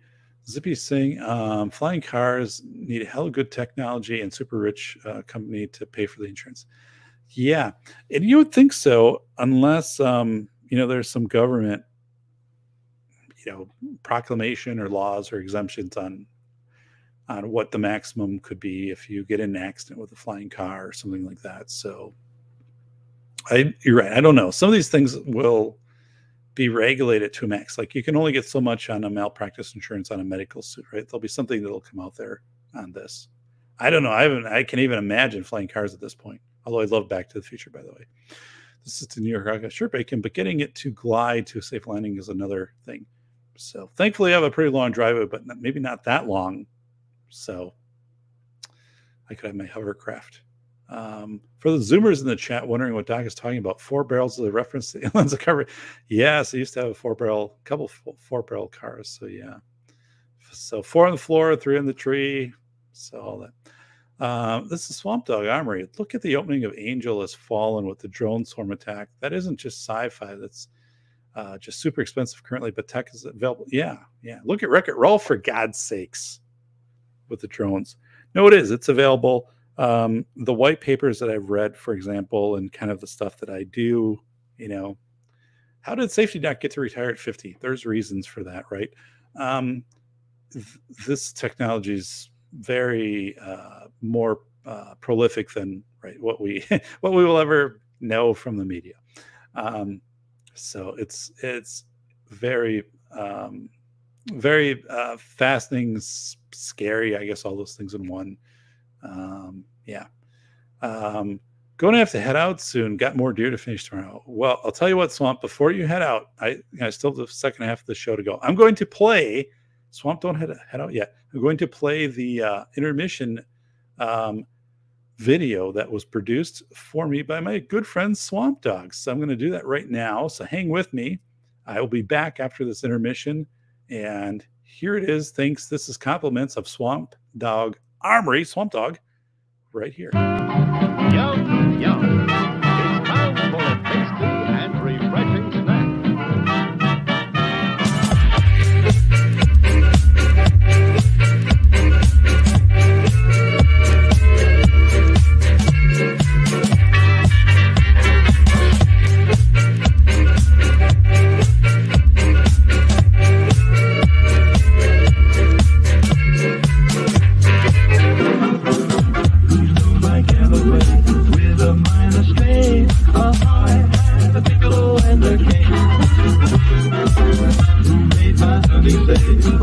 Don't her.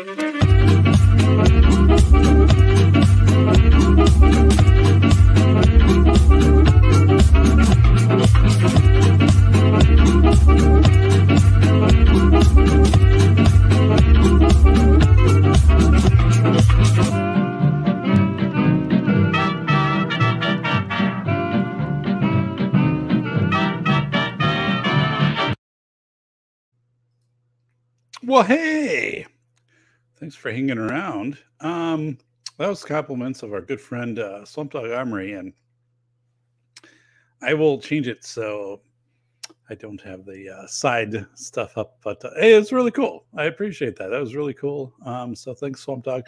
He created that for me um, as a gift to the show. So a little intermission entertainment. So and you get to see me doing some things that I normally don't do on the the show, and then uh, it was fun. So thanks, buddy. Um, so forced learned behavior. So let's talk about that forced learned behavior. So this is kind of like why do we go along with things? Like when people tell us, "Hey, like you should do this," you're like, "Okay, I will." Um, so one of the things is uh, back in the uh, the 1960s, the Milgram studies. So uh, let me just go over that quickly to kind of set the the frame for this. I'm going to talk about the I-35 bridge in Mississippi and the collapse of that, and some really weird things that showed up when people when the bridge was open again, and the behavior of people. It's not what they anticipated. So the Milgram experiment uh, back in the 60s is uh, they they it was a university experiment. They brought in um, students or people. They paid them like five bucks, right? Here, participate in this. So somebody would dress up in a lab coat. They would look all official and they would say, here's a dial. You have to turn from zero to 10. And it's shock therapy. It's kind of like there's a hint of this in Ghostbusters, right? There's shock therapy, and it's based if people are responding incorrectly to um, questions, then they would get a shock. So you you would participate in this, right? And this person in a lab coat would tell you, okay, like turn it up to four and shock them, press it. And then in the other room, this person would there'd be a light that would come on, so they know like the button's being pressed. They're not being shocked, by the way. And they would they're actors and they would be like, oh, this hurts and all this stuff, like whatever. The thing was that forced learned behavior, if somebody was telling you to do something and they seemed to be in a position of authority, you you typically did it. So when they did this experiment, the Milgram experiment, they didn't expect that people would go along with it. So after the first time someone yelled, "Oh, you like you're hurting me," or whatever, this person would be like, "I'm out of here. I'm done." You know, I'm not going to put this person through pain. I'm getting five bucks for this, right?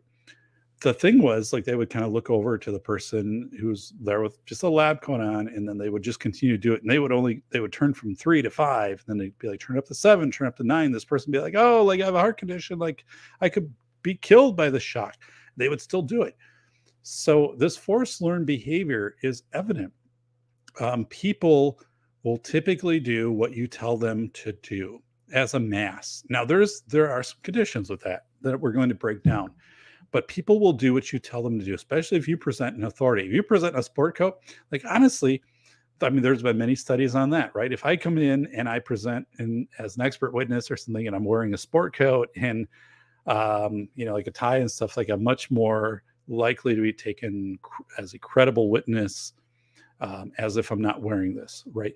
So there's some of this in how you present yourself, uh, very, you know, um, stern presentation that there's there's no question this is what it is. People are like okay like that's what it is. Forced learned behavior. We tend to believe in our organizations. Now this is right this has been challenged the last two years but we tend to you know believe in our government organizations cdc our local government things like this. So if there are chaotic events that are happening crisis situations if they give directives people will typically follow the directives so this is forced kind of learned behavior. Um, so let me read what I wrote here.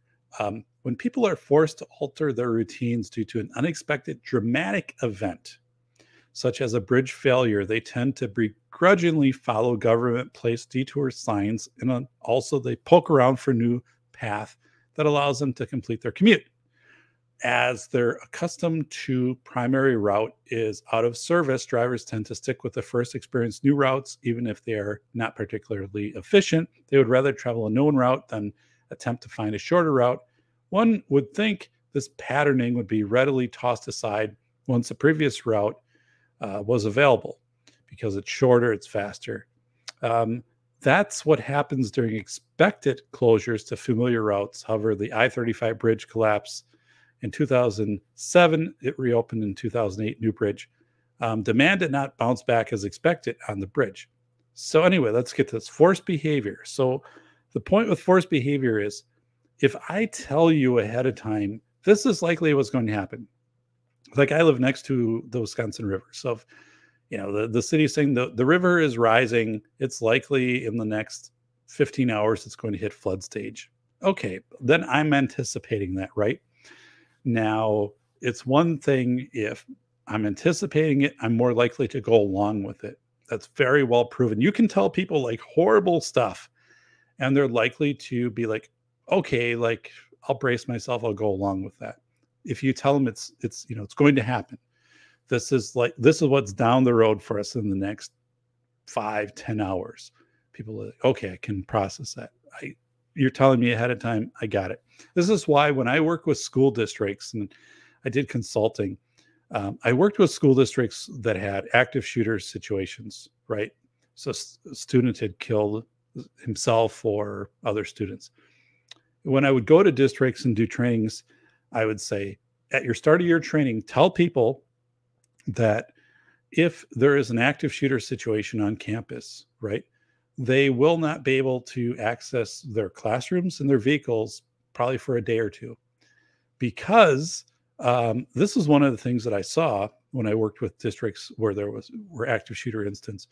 Um, people, I mean, no one anticipated that was going to happen. And that's one thing too. At the start of the year, I'm like, talk about it in your in service. If this happens, this is X. This is likely the response from police and so forth, whatever. But um, people would try to um, they so the situation would be be complete and then people be like i want to get back to my classroom to get my keys to get my car to get out here to get home. They'd be like nope it's a crime scene you can't get back and they'd be like oh my god and they would just break down.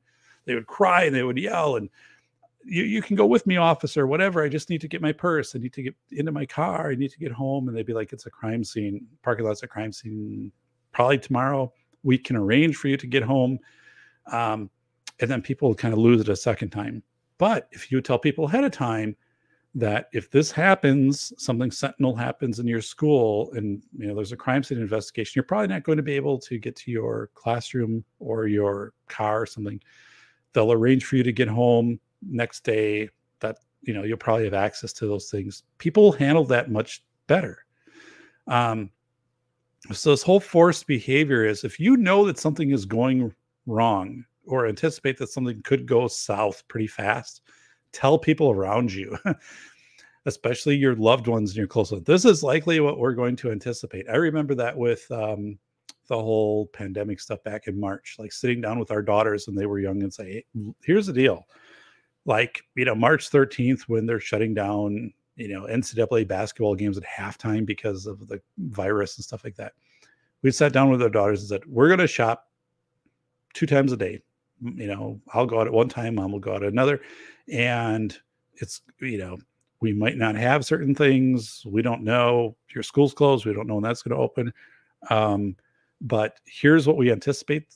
You know, there's going to be more things that are, are going to close. Um, we're going to work to get the things that we need, right? You're probably not going to be able to see your friends. A lot of stuff that you like to do, your dance lessons, things like that are probably going to be like shut down for weeks. Um, and because we were very upfront and told them that, and when these things did manifest, as we had said, they handled them remar- remarkably well. We actually had a trip scheduled for Disney. We were supposed to fly out to Disney, and it Disney shut down. And that was one of the things right away too. He said is the whole Disney trip is up in the air, right? Like Disney could shut down. If they shut down, obviously it's not happening for us we still want to do Disney. We'll do it at a different time. But eh, so then when Disney did close, it wasn't like, you know, these kids, oh my God, I can't go to Disney and stuff. You know, we've been there before, but but they were like, okay, like we've been told this. Um, so forced learned behavior. One is people just generally do what they're told. And, you know, for New York, you know, mental conditioning, you're right. People, I've more in it. You have to look at this as a percentage. 100% of people, if more than 50% of people just go along with it, which they do, they will trust the government, they'll trust the news, uh, and and they'll just go with it. They won't question it, right? So it's forced learned behavior, and it's very important. So let's go back to that I-35 bridge. So the I-35 bridge, um, Interstate 35, crossed the Mississippi River in Minneapolis. It collapsed in 2017. It was a structural failure, wasn't anticipated. So in an instant, boom, bridge falls down. Um, so this is something that is not anticipated by anybody. So, you know, the next day, a couple days after that, the the city of Minneapolis is putting up signs to people like take this route to like, you know, get across the the river and stuff like that. And it took it was very difficult for people to adjust to that. They interviewed people. So I have all the studies. I concluded some of it in the velocity of information, but not all of it because it wasn't really the it didn't match the book like the theme of the book but here's the deal. So people be like you know i'd see these detour signs and be like nah i don't want to take it but i'm going to take it and whatever. But then when they would get across the river and stuff they would kind of find like the first route to get them to their destination. Like they would you know side streets you know go down i'd go down oak street and then second and maple and over to 23rd and whatever and if this gets me to my destination like that's what they would stick with they would not try to improve upon that. Like that, if that route got them to where they were going, they would stick with it.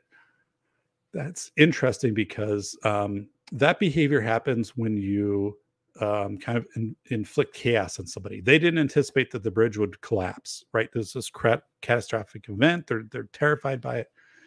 So as soon as they figure out a way across the to the other side and they find a way to work or whatever, they stick with that. They're not trying to improve upon that. They're like, this is good. I'm comfortable with this. So it is, it was crazy. So what they what they rebuilt the bridge. And when they reopened it in 2008, they thought everybody's going to come back to the bridge. Not only that, the bridge had been expanded. The the um, uh, kind of um, on ramps, off ramps, kind of leading into the bridge, everything had been get been improved. And they thought we're going to have a Braess paradox. People are going to start using this bridge to the point where the bridge is going to it's going to congest it, right? And the fact was that didn't happen uh, people were very slow to come back to using the I 35 bridge. A lot of these people were commuters in the area who remembered right when the bridge collapsed. And they were like, screw this. We're, we're taking our long path around this. We're not going to come back to this. So the, the Minnesota State Department of Transportation, I have this all kind of cited in the article. They were interviewing people and they said, well, it's a deal? Like the bridge is open. It's brand new. It's wider. It'll cut your drive time down by 15 minutes and it's and they were like it's one thing if you would have told them ahead of time if you would have had signs up and things and said the bridge is going to close in 60 days we're replacing the bridge you're going to have a new route and stuff people people would have likely res- returned to the bridge right but they because this happened suddenly unexpectedly this chaos event people adapted quickly into this new tourist their new route and they were unwilling to give this up so that's another part of safety and chaos, right? When something happens really fast to people and you give them no warning and they have to adjust to it, it's less likely they will return to this more efficient system afterwards. That they'll they'll stick to this kind of new Taurus that they they have. They just they've lost trust, right? Um, that's really important because when catastrophic things happen to people and they don't have an idea that it's going to happen, right? Um, you know, I think it's one thing, right? If somebody you love, somebody in your family is on hospice, right? And and you anticipate they're going to die. And then at some point they die. That's different than you get a call one one day and it's like, whoa, you know, this person 53 years old and they died of a heart attack mowing their lawn. It's like I wasn't ready for that. So, you know, these these adjustments are much different. So this forced learned behavior especially as New York Outcast was talking about, this forced learned behavior is if you tell people ahead of time, even if it's really bad news. So imagine like, you know, New York or not New York, but um, you're you're driving the I-35 and this is your way to get to work. And it's like, hey, the I-35 West is going to be closed. And you're going to have 15 to 25 minutes added onto your route for two years.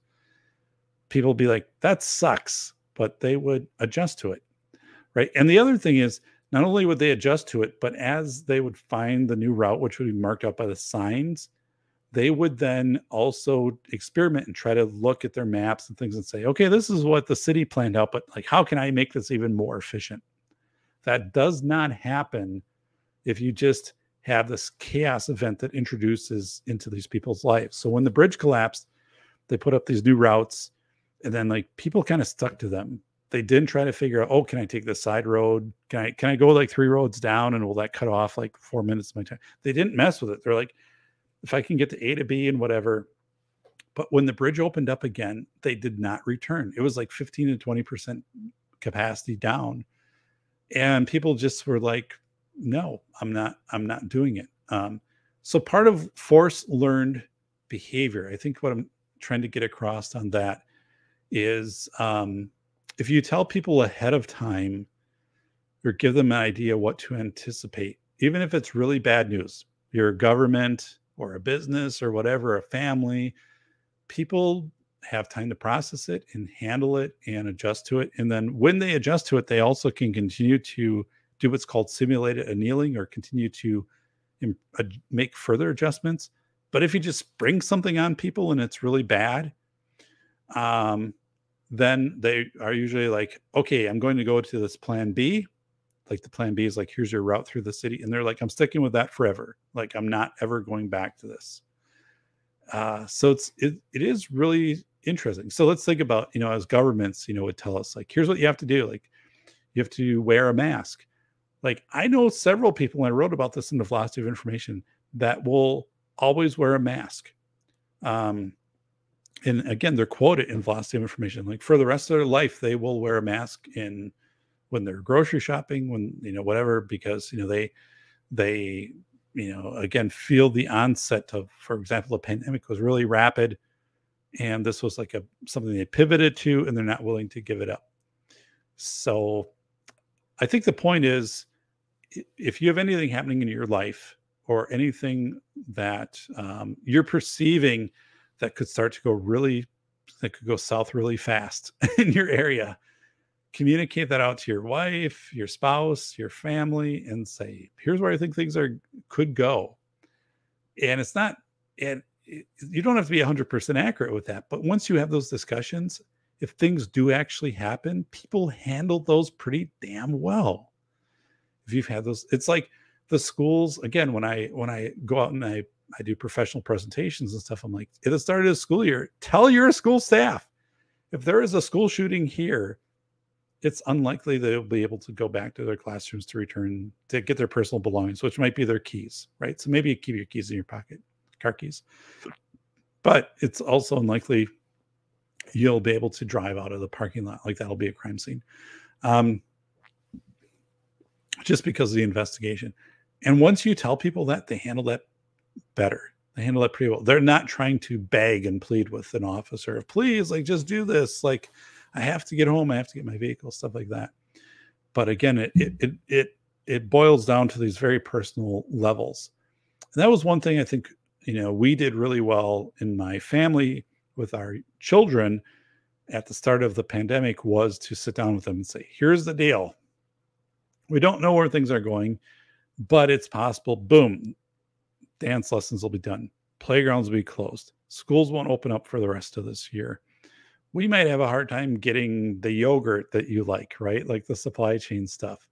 Um, we're going to you're going to see things like you know the cat litter like we're not going to put as much cat litter in the boxes um, our trip to florida is done we're not sure when that's going to be rescheduled we'll try to do that but you know you lay these things but you also say like we are aware of this like but you're safe here you know like we have things we have resources we know we're stable and stuff like that but you're going to to see some things that are different that and we inter we anticipate that these things will be different and i thought that was a big benefit for our daughters um and just for our, our family in general and as i was working with my extended family like my parents stuff like this too I'm like my brother like i'm like here's what's likely going to happen. Prepare yourself for this.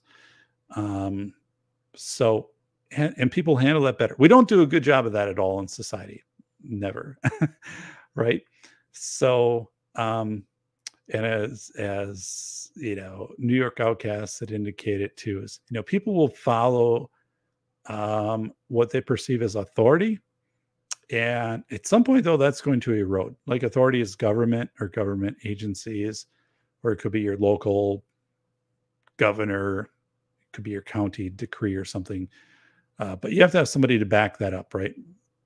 For example, like right now in Canada, like you know Justin Trudeau leaving Canada, um, you know, when the truckers are doing their their you know pro- protests and things like that, like you don't leave, like what in the world?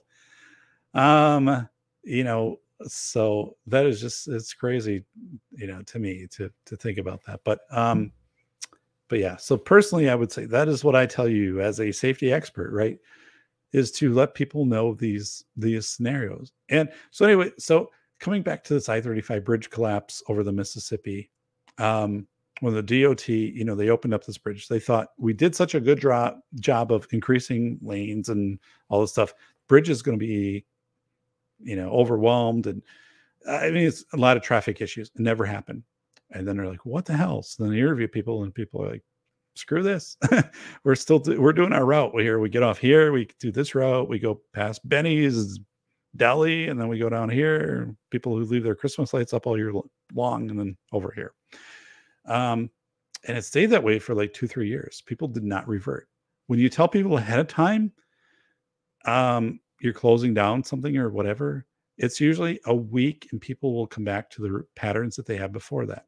So it's just very important the messaging that you use with people.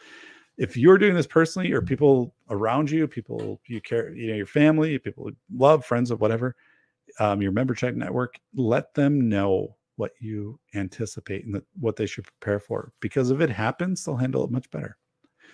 Let's get over to. I have a few more things here. Let's get over to um, the chat. People hate change. This is from our good friend Zippy. Same process, and actually, by you, right? Like where the tornado came through, like it kind of forced upon change. So, how do you adapt to and adapt to that once a tornado comes through, like in December?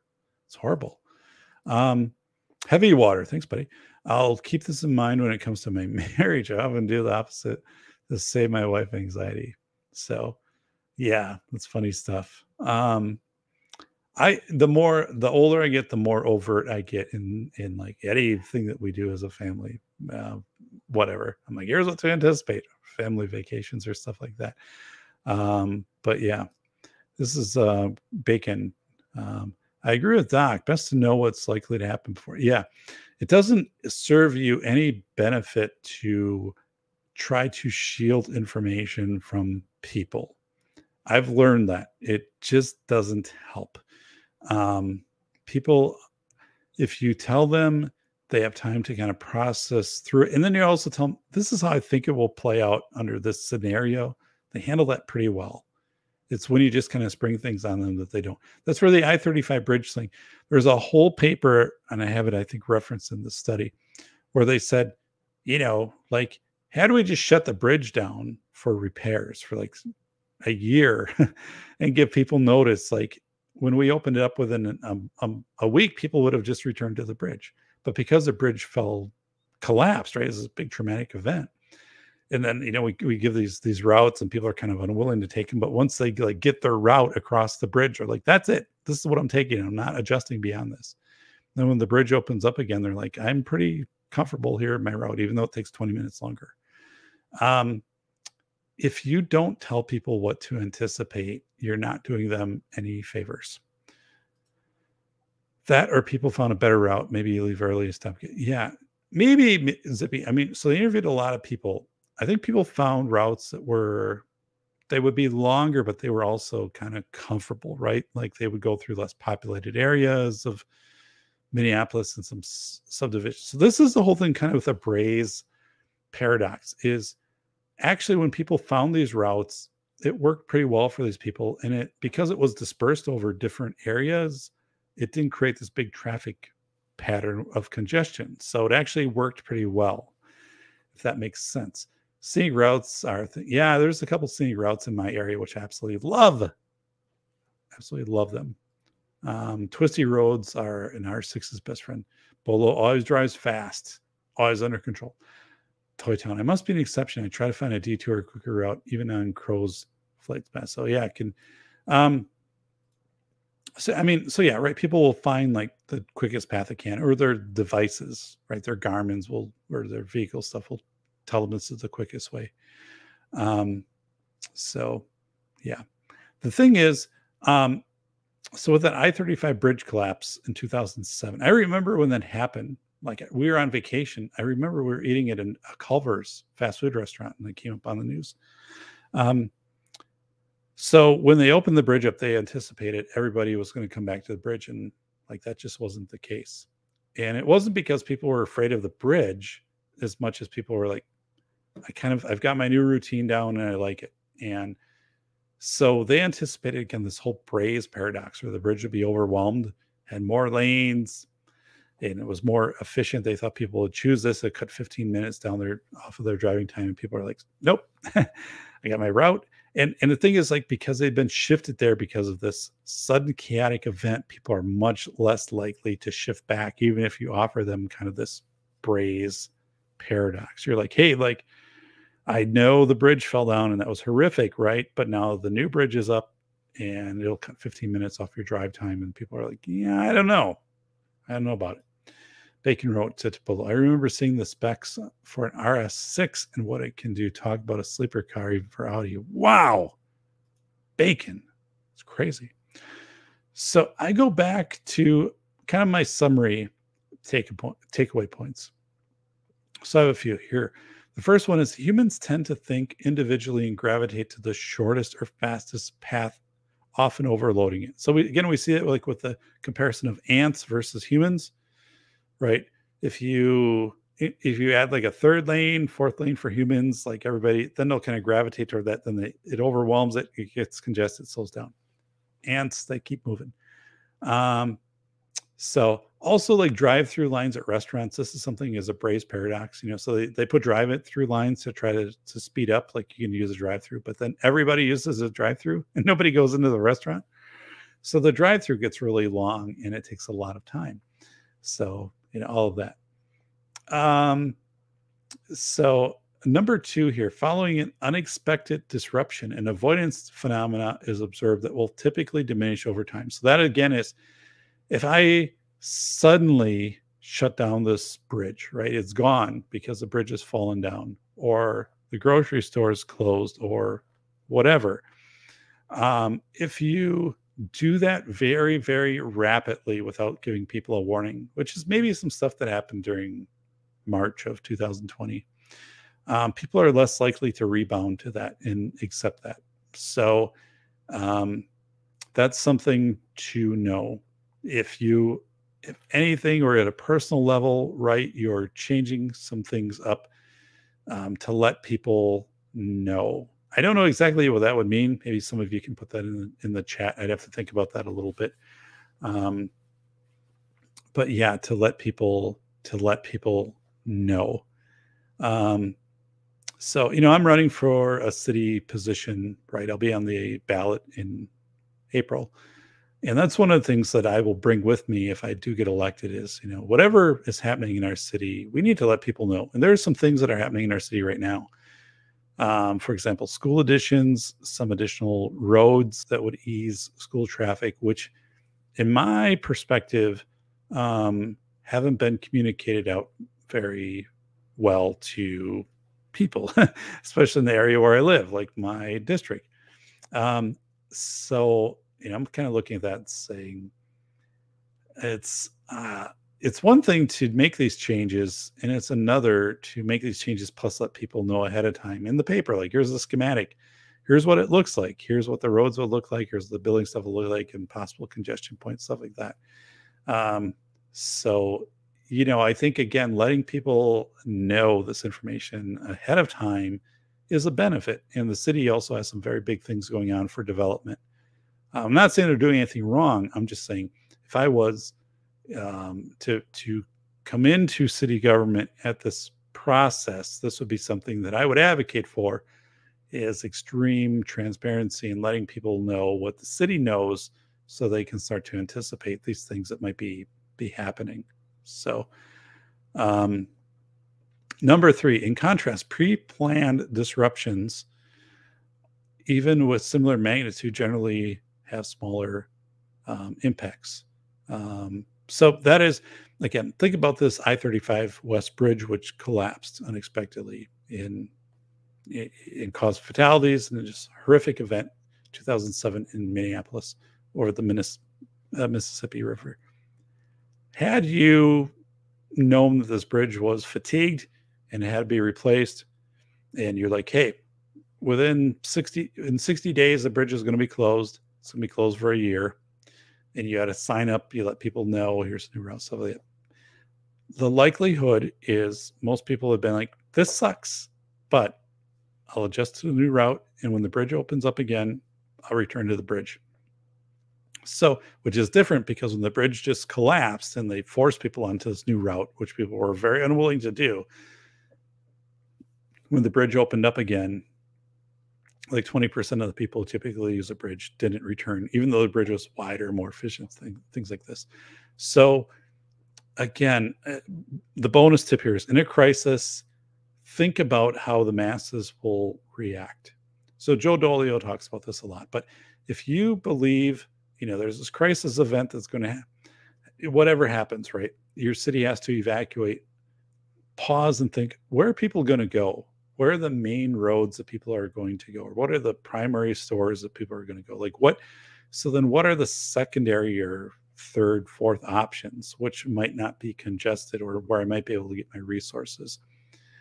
And like I know from my city, which is on an interstate, I can drive 40 miles on what is basically a two lane road that is lesser known to get beyond my city, further away from my my city, which is near metro.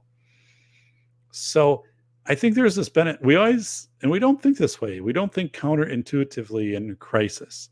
We don't pause and think, what are most people going to do? In the velocity of information, book coming out April 11th, which you all should purchase, by the way. Paperback is the most affordable version, but um, has graphics, really well worth it.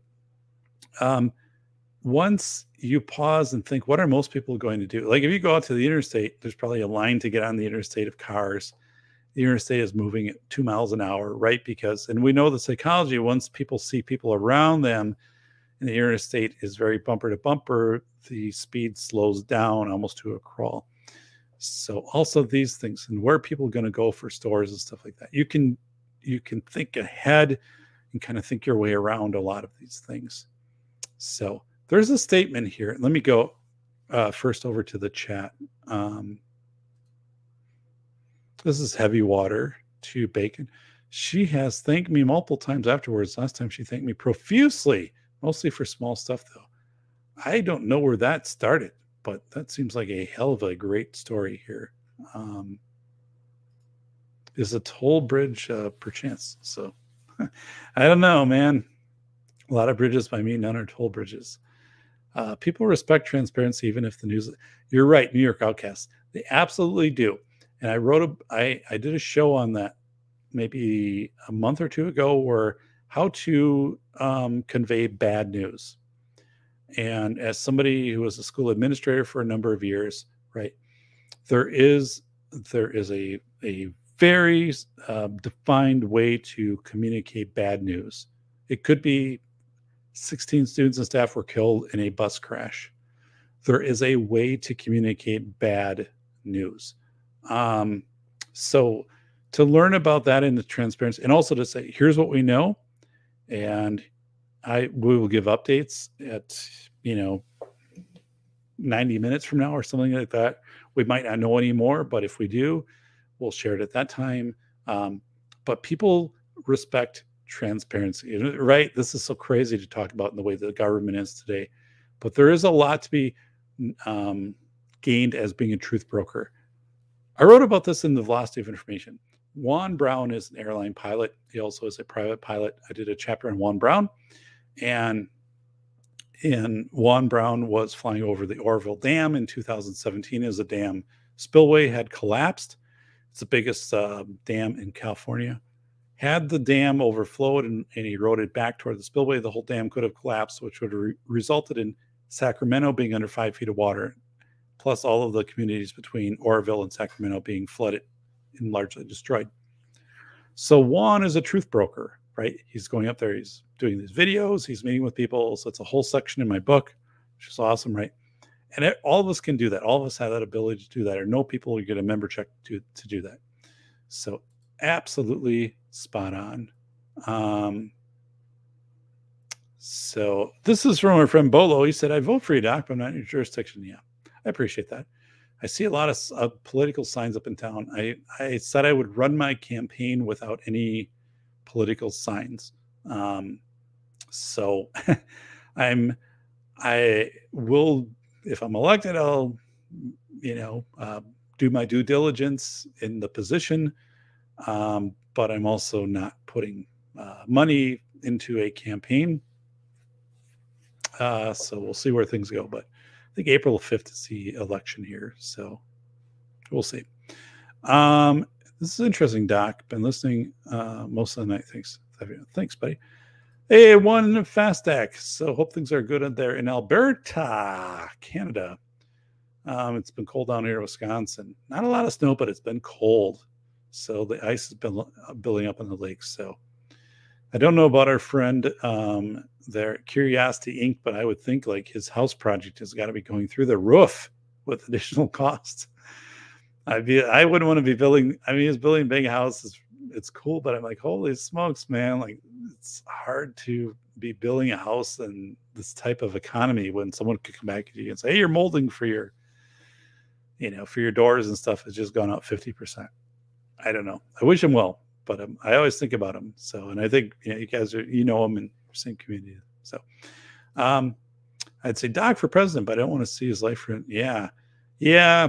Um, Doc would never never make it to president. So, I I think the farthest um, I would go and have a chance to go would be like county representative, which is not out of the mix. Uh, my wife and I talked about this. And three years from now, maybe I'd run for like a county position, but I don't know. Um, yeah, I I am not. Uh, I have no higher political aspirations, um, nor would I think I would. I would be able to survive survive the steps through to get to those. So I'm pretty good. It's Bolo. So um, that would be brutal to have to tell people that. So all limited. So yeah. The thing is, that you know, people respect um, truth brokers, right? You can tell if you're a truth broker, an honest truth broker, right? A genuine person, you can tell people horrible news and they will process it. Um, but you got to be consistent. You got to be known as a as a truth broker. It's so weird too. Like when I work with school districts, I don't do it as much as I used to because I, you know, trim my consulting business back. But um, you know, I would say at your start of your in service, you tell people if our school is ever a crime scene, this is what they should expect. You're not going to access your classroom, your personal belongings, your car. Someone might have to pick you up or whatever. They'll arrange for that or whatever. And they're like, what? And I'm like, no, like seriously, because I've worked with districts that have gone through this and they will tell me if we could do things over again amongst mon- many things they would do they said we would inform staff ahead of time that if anything of a sentinel event like happened at our, our school where there was a you know police investigation the school school's a crime scene people would have limited or no access to whatever whatever we would do that because that was a that was a really hard part so um yeah this is from one uh fast act uh, hey bolo good to see you brother to to canada sticking together there um, New York Outcast. They should have listened to the dam keeper or asked why he kept checking it overnight. Yeah. Reminds me of that movie. What was it? Oh, God. I remember it wasn't that well known. Um, I don't know. Remember it was like a dam gave way and there was like this church that got flooded. I, I'm trying to figure out who the actors were in it. I don't remember. Um, it was it was like a drama, maybe like 20 years ago. Christian Slater, maybe was in it. So um, thankfully, we don't have a dam near our house. It's a great story if you don't know it. Um, New York Outcast confidence can also be a killer. So I don't. I've honestly I've found confidence to never fail me. I've found hubris to fail me. I, I guess in the respect of, but only I wouldn't say in the respect of anything where I've worked professionally with uh, crisis stuff or anything like that. But um, I think you can underestimate where people around you will try to undercut you, or if you start to evolve in a crisis situation to a position of authority, that can intimidate some other people around you. I think that's authentic, but I don't know. I don't. I still think if you're a truth broker and you're you're very um, fast acting and, and moving into that position of conveying that information, people um, acknowledge that with you. and You have high credibility. So I have a show coming up at some point. It's called How to Work with How to Survive a Toxic Work Environment. Yeah, that will be there. Doc could be a secretary of I could be a secretary of education. It's a messed up, crazy position. I actually ap- applied to be um, on a committee for the House or for the Department of Human Service, Health and Human Services, the U.S. Department of Government um, a few months ago, and it was for safety planning in schools. So, but they notified me and they said, "Thank you, Dr. Perrodin, for your interest in application, but um, you are outside of the time frame for when we were doing this." So, um, yeah, um, so yeah, who knows? I don't know if I have any real desire to do that again. One FASTAC uh, uh, from Bacon. You go to take a look at the occupation in your capitals. So, yeah, Canada, um, New York Outcast. I was speaking of the documentary about the dam. I was the it was the biggest uh, for the time. They didn't know what to to do. So, are you talking about? So, is it Oroville Dam? New York Outcast. That we're talking about. So, Or- Oroville Dam is the biggest dam in California. Um, and yes, so I have an entire chapter written about the Oroville Dam, 700 foot dam. And right, so you have this primary spillway where the water is released from the dam. You also have like um, a hydro energy plant where some water gets released, but not a lot through this plant to generate power. But you have the spillway, and then that was the primary way that they would release water from the reservoir. And then you have this emergency spillway, which is basically just dirt. so they're like thinking we'll never have to use this, but if we have to, it'll just like drain down the side of this hill. And uh, so I have, I have this diagram in my book. I have this this image, and it's all labeled, and I got it from the people who researched this, and they gave me permission. So it's pretty cool. But um, so so in Oroville, um, California, this reservoir, 700 foot reservoir, um, when they were releasing water, the the spillway, the concrete on spillway about halfway down, like gave way. Like this thing's been around for like 30, 40 years, and it just like busted apart. So when they were done releasing water, like, oh my god, like half the spillway's gone from like that point down. So then the water kept rising in the reservoir. So they had to they had to be like, well, what do we do? Like if we release it through the spillway, it's only going to go down so far and then it's going to start to erode back. And that's going to be a hell of a mess because if it erodes back too far, the dam complex could collapse, right? This would be the biggest modern natural disaster probably in history.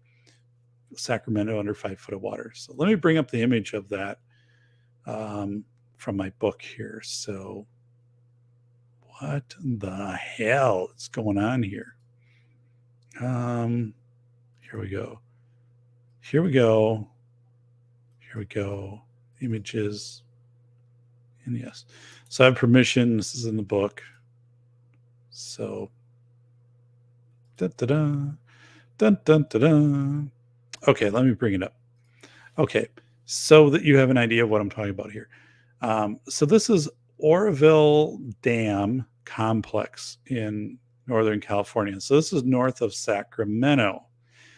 Um, Juan Browne, who I interviewed, had his his took his you know Luscombe 1946 airplane out. He's flying over this to get an idea of what's happening.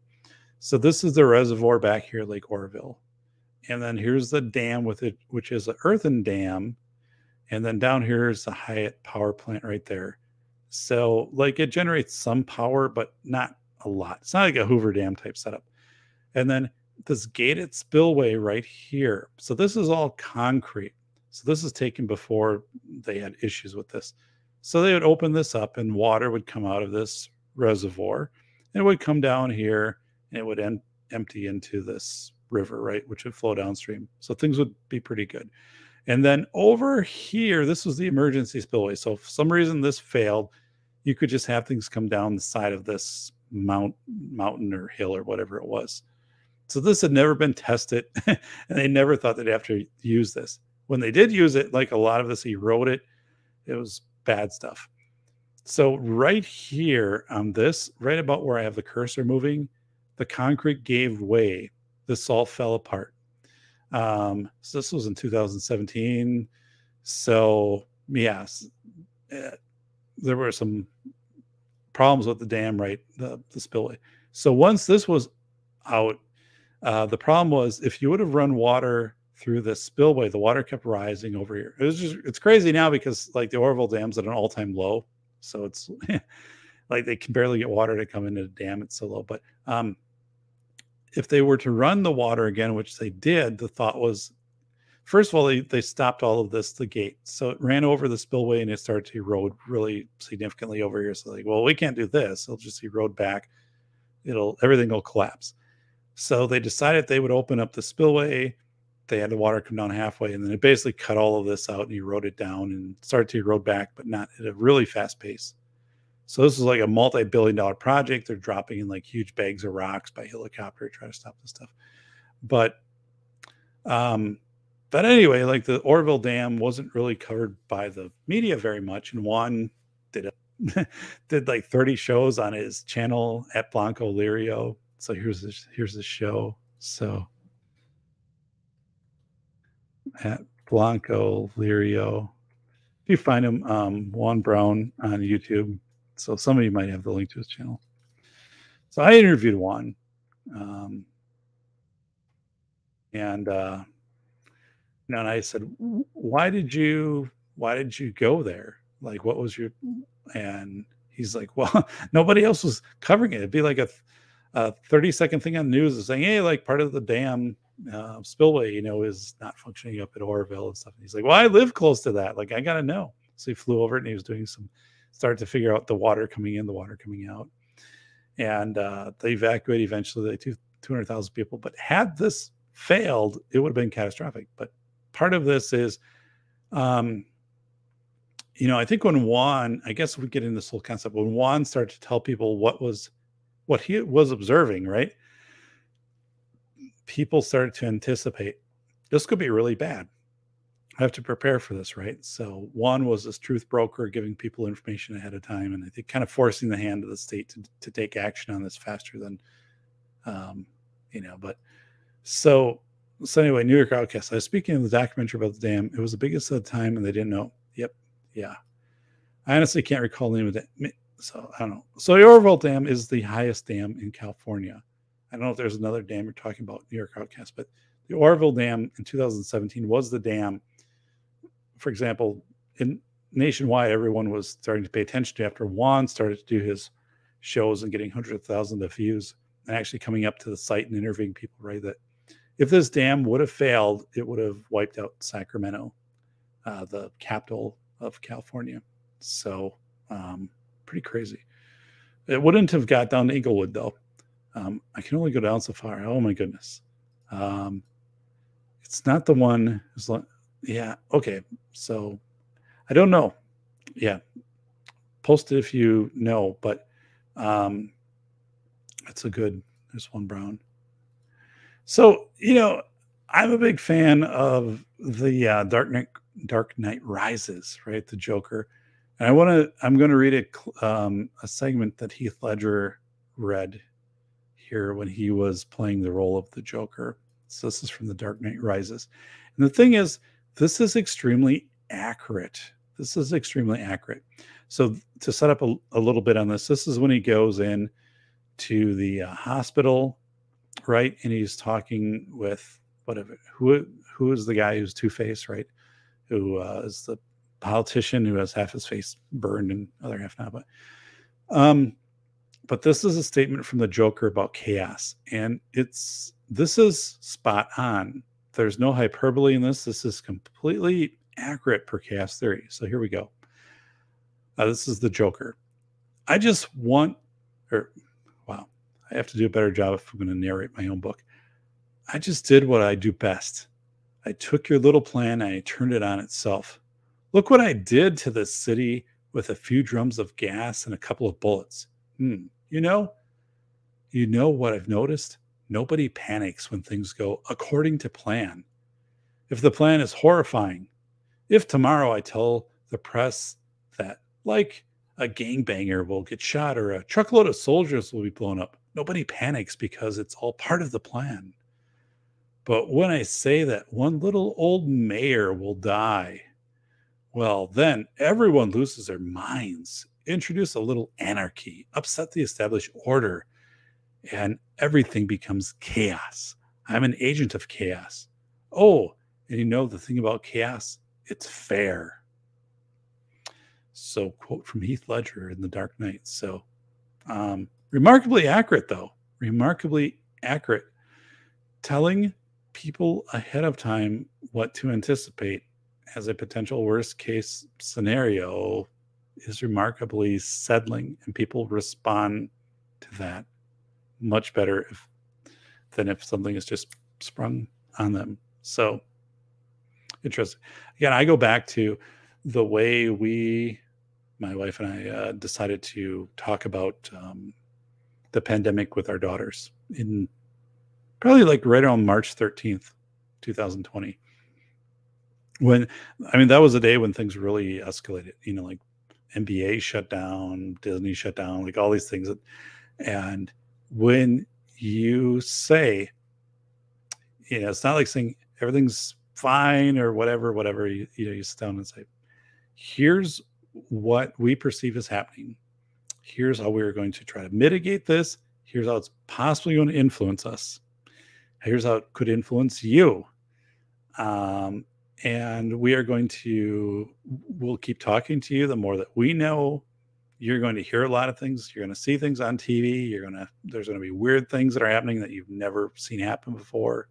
Your playgrounds roped off in yellow police tape stuff like that which i have a picture of in the book.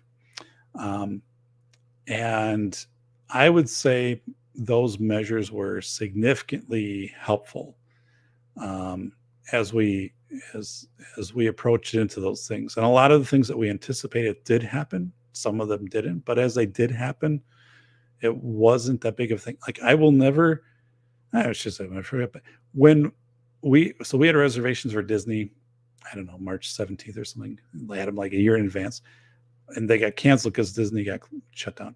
When we told our daughters disney shut down it's not like they ran around the house and they were angry and something like that. They they knew because we talked about it. We said this could happen, um, and if it does happen, you know, we will.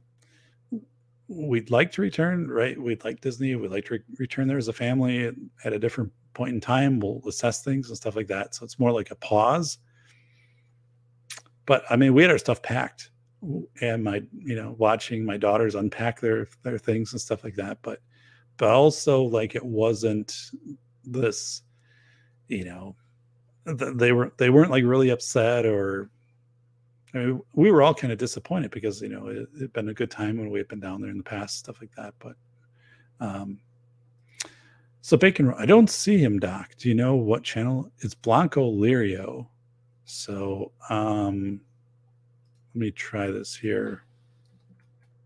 Blanco Lirio. Yeah. So here it is. Um, I don't know if it'll post out of here how this tr- how this transfers over to um, how StreamYard transfers over to whatever, but I think it does. There's Blanco Lirio. So, yeah. So the so that's really cool. So, um, a few things with the velocity of information so the book is released. Harvey Dent, right? You're right, Harvey Dent. San Francisco Dam. I think that was year. Yeah, you're right. That was years and years ago, like hundred years ago, right? They anticipated. They, they knew the dam was failing though, and they didn't do anything about it. They kept kind of reassuring people, but like the dam owners were like, "Holy God, this is we got issues going on here." I think there's still remnants of that dam you can visit today.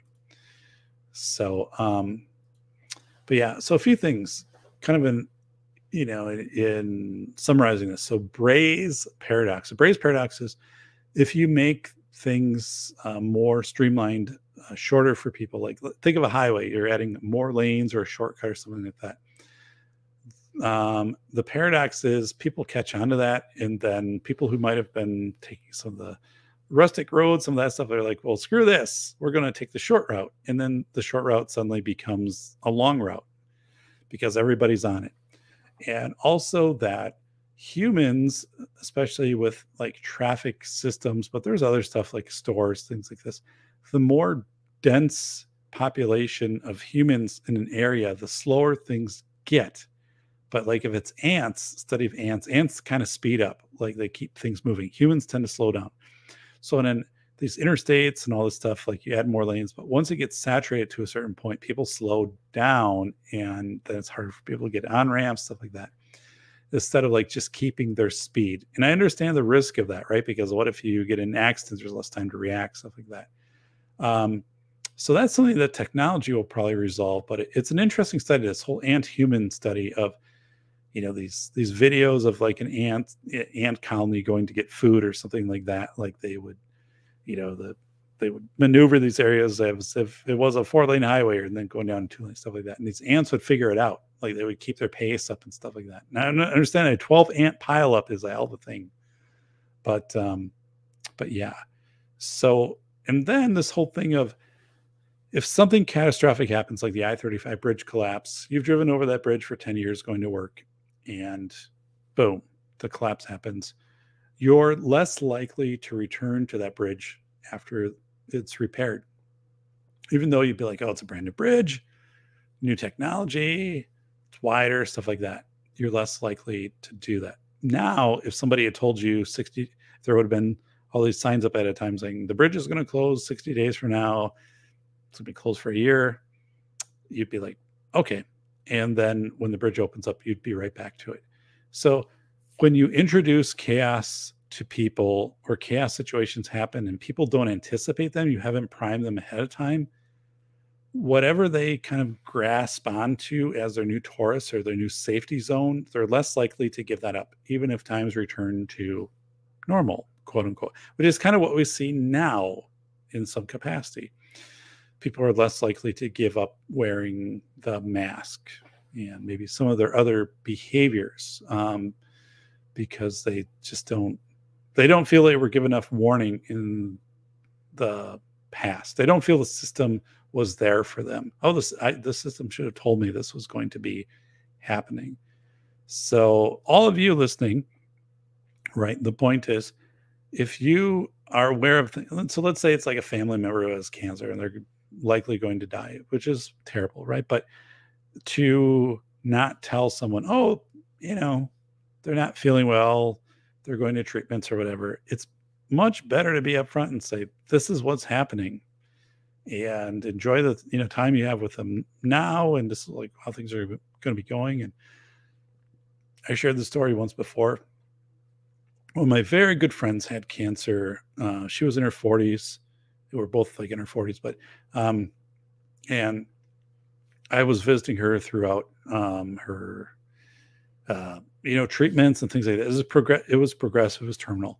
And i remember one time i went up to visit and it was fun visit right? She's in a hospital bed though and just like looking out a, a, room that could look out to the the main road going kind of past her place and stuff like this. And uh and i remember when well when i left like she said i'm she said listen i'm i have what maybe eight to ten weeks left of life and they're going to just load me up with medications hospice i'm not going to know who i am or where what's going on and um, I don't. I I want you to remember me as what I'm right now, right? Uh, so this is it. Like, there's no additional visit. Um, you know, I'll have my family email you when I pass and things like that. And but it was this thing too of like because she had said that um, when she did pass, she did die. Like I was much more I don't know, at peace with it, or I thought about it, or, uh, um, but yeah, there was something, there was something to that. Um, but anyway, so the I-35 bridge thing is kind of in, it, well, it is interesting because when I researched it for the book, I was, I was trying to come up with short-term chaos events, and I kind of, and then I found this ancillary study done by the Department of Transportation, Minnesota, where they're like, you know what, like people never came back to the bridge, and it took years to convince people to come back to the bridge. And it wasn't that they didn't necessarily trust the bridge, the new bridge. It was because when you throw people into this plan B, here you got to figure out how to get around to your destination. We'll kind of get you across the river. The rest of it's up to you. Once they found that, they were unwilling to give that up because they kind of felt like they, you know, they had been thrown this curveball that they didn't expect and they weren't going to put themselves in that position again. I'm not going to put myself in a position where I trust this bridge and now it has to close or it falls down or something and I have to go through all this again. So I'm going to stick with this. Like this works 25 minutes a day more on my drive, but it works. So that's and that's really interesting now as we wind down COVID restrictions of people who are saying, I'm not really coming back to the baseball games. I'm not coming back to the concert stuff. I'm not coming back to shopping without a mask or shopping during a prime time. I'll do my shopping at nine at night. And those behaviors, if you see those right now, you probably will see them for the rest of those people's lives. Like that is unlikely to change for the rest of their lives. Um, so not I'm not saying it's a good or bad. I'm just saying that's the way that it is. Like it's likely, you know, if they if they feel that those are the steps that they they need to to take, right? Um, they feel that this was thrown upon them very quickly. They woke up essential or non-essential one day, and this is what they have to do. They're not going to backtrack. They're not going to return to this pre-chaos Taurus or similarity or how things were before 2020. So they'll live out their entire life. You will always have family gatherings where they'll have a mask. They'll never shake your hand. They'll shop at nine o'clock at night. They probably won't be on an airplane again for the rest of their life, things like that. Um, so, not trying to put this as a judgmental statement, just saying, as a result of the way that chaos was introduced into people's lives, some people will not return um, and these are people who would be like, I will never live in a city again, right? I will never be in a position where, oh, I lived in Seattle and the only, you know, I remember at a time when we were limited to two people or one people, one person in an elevator, and it would take me 60 minutes to, if I get in the lobby, I'd have to socially distance. It would take me 60 minutes to get up to my apartment, right? Which that was happening. So you will have some of these behaviors where they will not revert for the entire generation. So it's interesting, right? It's interesting in a big city where the big cities are built on mass transportation and oh, don't have your individual cars, we'll have mass transit and all of that. But the reality is like there are a number of people who will not go back to mass transit ever.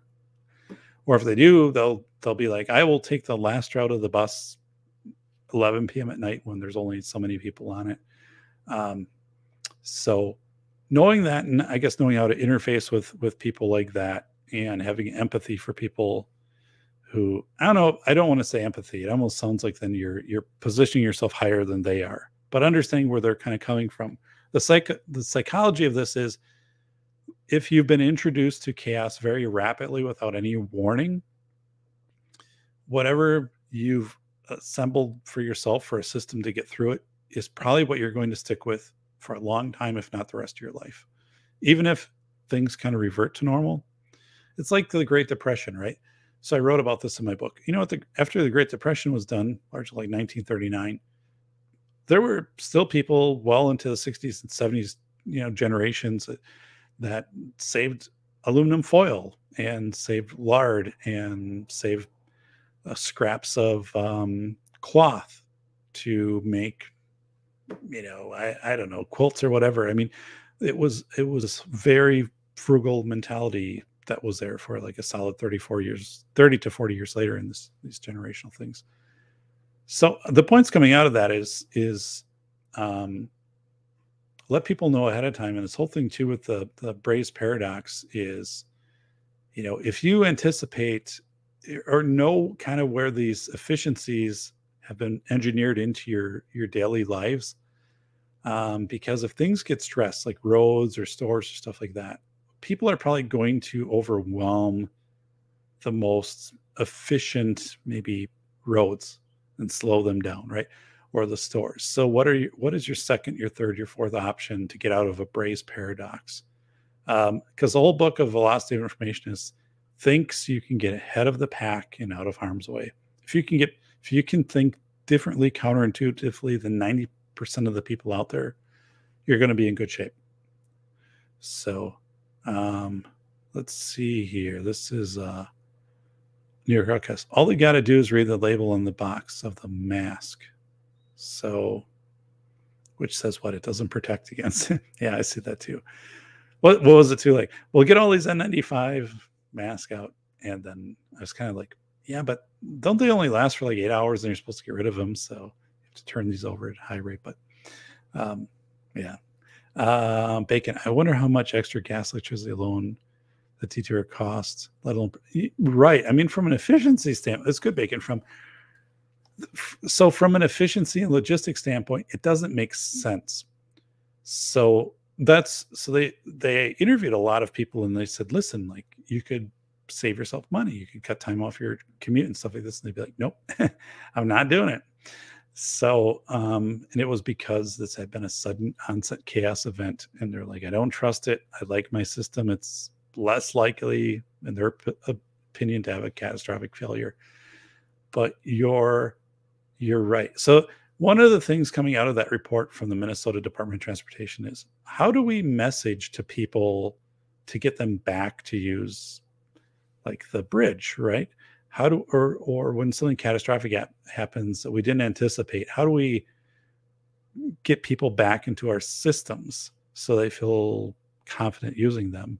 So there's a big part of it, which is big. I talk about that a ton in the book, a lot in the velocity of information, the importance of messaging.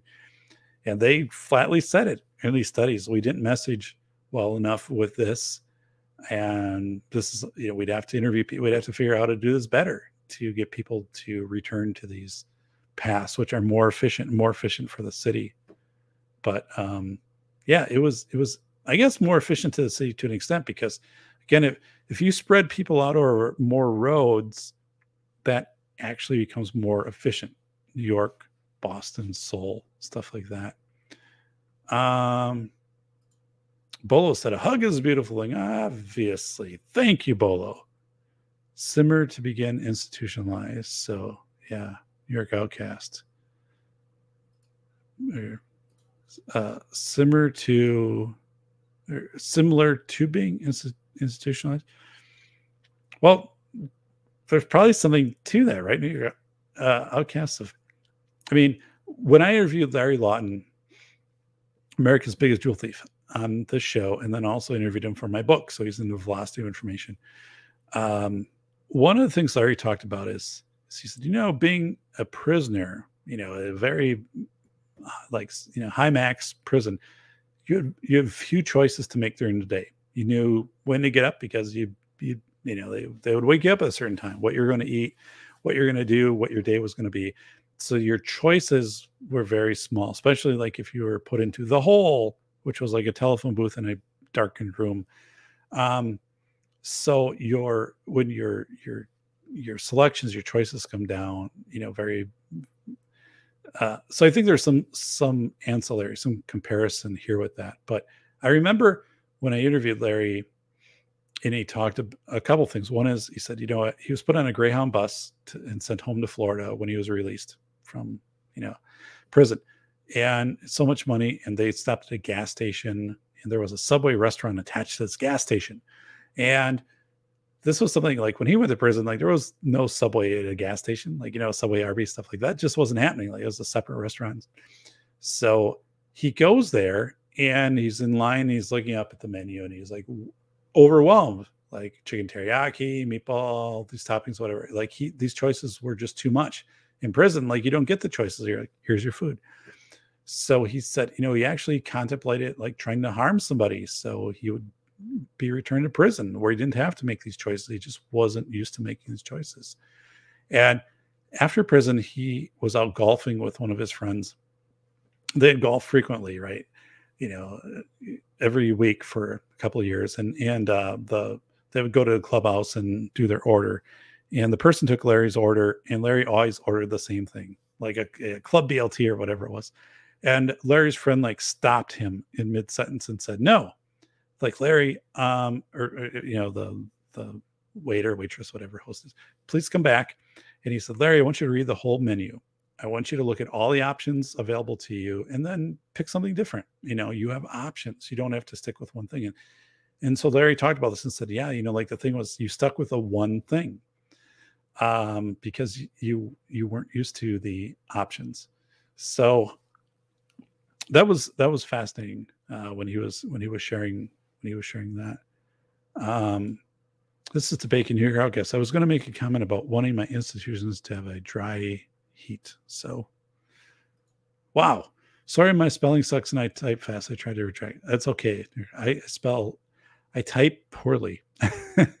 so, yeah, it's interesting because like in my my books like look great, right? You know all that stuff because like there's editors that go through those things and and uh, you know even like my PBS presentations are really good, uh, but because they've been rehearsed several several times, like uh, sitting in front of this, timing things out and stuff like that. Um, but uh, Bacon to the Russians uh, went through the same thing after the USSR fell, total choice paralysis. Yeah, that's a good way to put it. And when I interviewed Nikolai Razavayu and wrote about that end of velocity of information, which releases April 11th, um, Nikolai said, or, or so you're researching around Ukraine, Chernobyl, Kiev, these areas, and people kind of just have this paralysis. They're unwilling to invest because they don't know if the whole area will be declared a nuclear hot zone, and you know, so that you have kind of this paralysis to move forward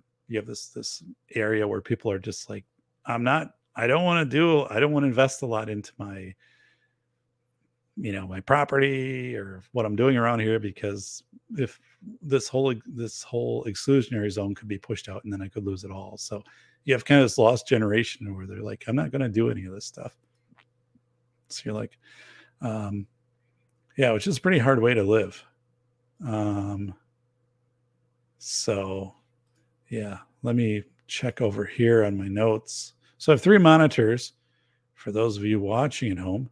Um, the front monitor is the show. I see myself right here. The right monitor is the um, is the show as it appears in YouTube, so I can see. Make sure, like it's I'm like if it's not over here, that's bad. So uh, then the left are my um, show notes um, so yeah, so that's where I'm pulling from now. So yeah, this is really this is really good. Um, just pulling this up. So so to re- to recap a few things, I appreciate we have, we have 14 viewers right now, which is very good for the show. Appreciate that you follow the show. So here with our banners here, yeah. So you know we're 27 thumbs up, which is great. I appreciate that. This is episode 169. Um, episode 171, I have the locksmith on, which is going to be great. You throw any questions out there you want for locksmith. And then uh, I'm not sure next week. Next week, I start to get into the velocity of information, where I'm going to spend a number of shows breaking down chapters in that. So that will start next week. Um, and again, for those of you who have not purchased this book, or have purchased it, haven't left a review, please. Uh, School of Errors, you know, it's 30 books, 30 bucks, 30 books, 30 bucks on Amazon. It's actually stayed that way. So inflation wise, it's it's worth it. It's a very well made book, right? It's got a sewn spine. Um, but this is not only just school safety. There's you know chapters in here where I worked with the New York Department of Planning. Like we analyzed the 9/11 rescue of 500,000 people in nine hours. How did that happen? And the reality is, it happened because there was this thing called psychological transference dynamic, where it was really how people were raised in the 80s that um, impacted how they performed in this rescue in 2001. But it's a fascinating book. It's also punchy, it's entertaining. Um, people email me for years, like they love this book, right? It's in hundreds of libraries across the, the world. If you're a taxpayer, if you're a parent, if you know somebody who's a teacher, like it's the book to have. And it also gives insight onto what is really happening with all this crazy pandemic stuff right now, how schools are trying to adapt to that. It's a lot of insight into that. Um, so let's go, you know, let's go through. Um, why is that camera pointed toward the floor? I don't know, Andrew. I don't know what is happening on that. So um, that's funny. It's a proven fact that Doc's book has more of a spine than most people. Yeah, you know what? Um, I I always I said on the when I released the book, um, the book was a huge professional risk for me. And those of you who've read the book, um, it, you'd quickly identify like if you're writing this as a school administrator and kind of talking about here's a professional standards for educators and here's how it completely ignores school safety and here's why you know, school schools get inundated with vendors who try to sell them bollards and successfully do in most cases, and they don't make schools safer. Like I wrote about all that stuff, so I was anticipating backlash. It was at a time I was retiring, um, and but I'll tell you what, I mean, I receive emails weekly, right, from people around the world who say, "Thank you so much for writing this book." Uh, the book is is extremely well cited. It is necessary. I'm ex- I'm thrilled to be the one who's narrating it. That it will be available in audiobook uh, later this year. I never thought that would happen, and thankfully, you know, my publishers worked um, to make that happen uh, by uh, reverting the rights back to me. But um, yeah, it is it is one of those things where you know you can't because you're going to get pushback right? You're going to uh, is it hasn't come without consequence. I was i don't know I, I, wouldn't say the word banned but i was not allowed to present at a state conference because of the book. Um, i lost a a large conference um, keynote because of the book. Um, and, and largely because people would say you talk about you know bollards and surveillance cameras and things in here of being like you know this isn't the path of true school safety but yet like at our conference our bollard vendor is paying us $20000 so we can't have you do this. Um so it's you know it's one of those things but um uh has it cost me any sleep? No. Has you know the doc you guys do. Um pretty broad shoulders here like um the book itself is extremely well written, well cited, well researched. So, um, on that point, like you know, nobody nobody has really you know tried to undermine the efficacy of the book because I don't think you can, right? Because it's very well assembled in those aspects, but it's not popular with contemporary. Oh, you know, we're going to get funding, so let's put in some cameras and bollards. Um, but anyway, I'm glad I wrote it absolutely love that I wrote it. I can't, I'm thrilled that it's coming out. I'll be the one to narrate an audio. So I get to hear the angry old man voice narrate that book. Um, so on the, oh, why is it, why is the camera point to the floor on the camera? It's a good, yeah, I didn't write the publisher, um, put this right. the camera's pointing at the floor. So it's a good question. I know no one has ever asked me that before. Why is this? Surveillance camera pointed toward the floor. So there's this kid back here who's all blurred out, you know, and uh, this looks like a student I used to work with. so it's kind of crazy. So I'm like, hey, I think I know that guy, but you know, this wasn't. This is just like a, a Getty image. I think that they bought. But right, why the hell is the camera point at the floor? Andrew picked that up. First one. Uh, maybe it's a foot a foot model. Could be. You don't know what's happening there. It was back in the old days of foot identification. It was pretty big back in 2019. We'll identify you by your feet. Um, so yeah. So some developments here. One is um, not really development, but the velocity of information, which I wish I could hold up the book, which I don't have. Um, releases April 13th, and that book is uh, available in it's expensive in hard copy because they're aiming to put it into libraries but it is affordable in paperback or ebook and it will be released in audio but uh, later on. That's just part of the contract gig. So um, velocity of information is an awesome book 471 endnotes but if you're like oh god a lot of citations they're all at the end of the chapters. So when you read it's just like number one number two number three number four like for citations it doesn't disrupt it at all you don't have to read the end notes unless you care about it. So it's, you know, 10 interviews, fascinating stuff. Um, it's a brisk pace. And these are people who, again, are these are hard to interview people. These are people who do not give interviews for other people. Larry Lawton is not going to give an interview. Linda Stone, um, Robert Travis. These are people, Aaron Sawyer, who like I was able to work and build up the trust and get an interview with them. You're not going to find 10 other interviews out there with these people. So, yeah, it is the book is is awesome.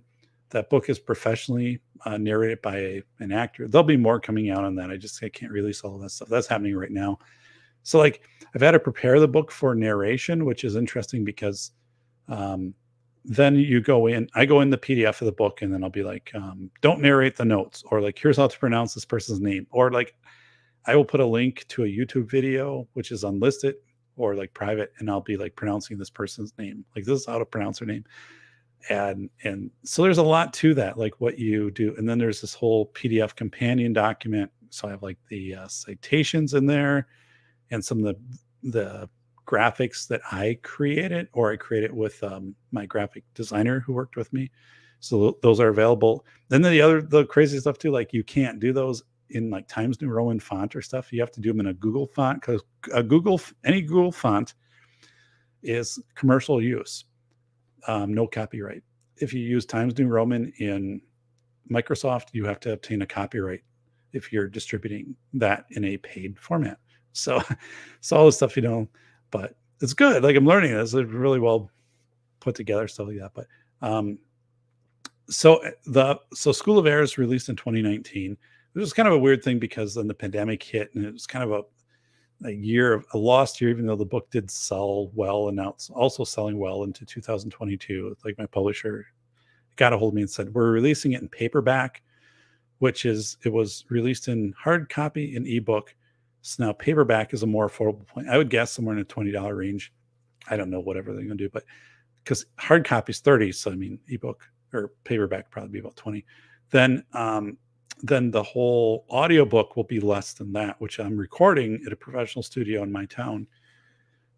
And that will be out in August. So the book will be out in all of those formats. And Then the velocity of information is also all those formats. And a lot of you know, like I have a, I have a few friends who are blind, right? So, you know, they'll be like, Dave, like we can do ebook reader, but it's not the same. So will you have your books narrated? I'm like, I'm working on it. And so like velocity of information is narrated as part of the contract. And then um, School of Errors now will be narrated by me, um, which I'm looking forward to. I'm also, I wouldn't say I'm intimidated by it. I'm just like, I'm not, it's new, right? I've never done this before. So, but thankfully, like the studio, they you know, they have been around 20 years, guy, like we've done this, like, so, you know, and, and that has, uh, so that has fewer, the chapters aren't very long. So, and I, because I, School of Errors is really written where I'm talking to you. Velocity of Information is written where I start to talk to you and then I turn it over to like the 10 people interview. So it's a great book. It's a different style though. So it lends itself more to a professional narr- narrator where School of Errors will work really well for me to narrate it because I'm pretty much talking to the reader throughout the whole book, the recipient anyway, if that makes any sense. So I'm, I'm thrilled by it. Um, that yeah so this is both you'll hear my voice and i don't know if my voice is a good radio voice although like i've had a number of people tell me that and you know i listen to myself on pbs and things like that and i you know and whatever i mean the book's been the book will have been out there three, three years at that point it released 8 17 2019 so i'm looking to release the audiobook on the third year anniversary um, but i think there is value in nonfiction to have the author narrate it. And again, I'm thrilled with who is narrating the velocity of information. Uh, I would never be able to do what they're capable of bringing that to. But you know, with, with School of Errors, I think it's and there's a legacy thing which is really cool. Where again, if it's my kids or grandkids or people down the road are like, hey, you know, you know, what did what did Doc sound like, you know, 70 years from now when Doc's not around anymore. Well, here it is. Like, here's a book that Doc had out in audiobook. And I, I think there's a really cool point. And I like to listen to audiobooks that are narrated, nonfiction are narrated by the author. Um, and Jon Ronson is one of my favorites, for example. So I think that's going to to go pretty well because I think people, it's not a very long book either. So I think people are going to to resonate very well. I think I, I just think there's win win win win win win win win win all around this. I'm excited to do it. Um, it's I had been asking my publisher for years to revert this to me, and you know they finally had agreed and things. Hey, is our good friend Walter P380? Hello, Walter.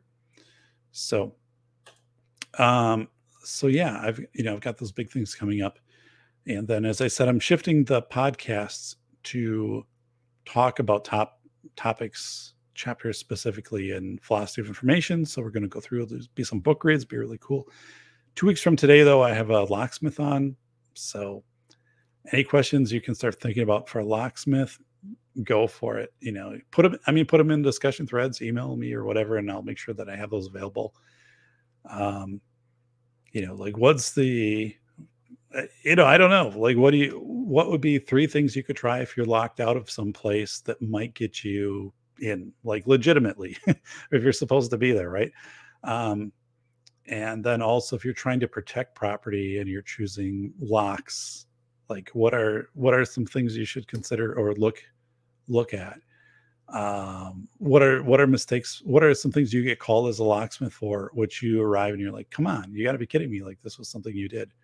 So um yeah.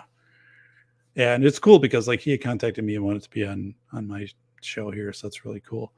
So um you know what? I, I wish um i wish streamyard would do kind of like what obs does where the chat comes up lot you know while you're reading um you know what i'm saying? Like obs does does so the chat is on the one side of the screen. Like pop turns pop uh, old lumble stuff like that.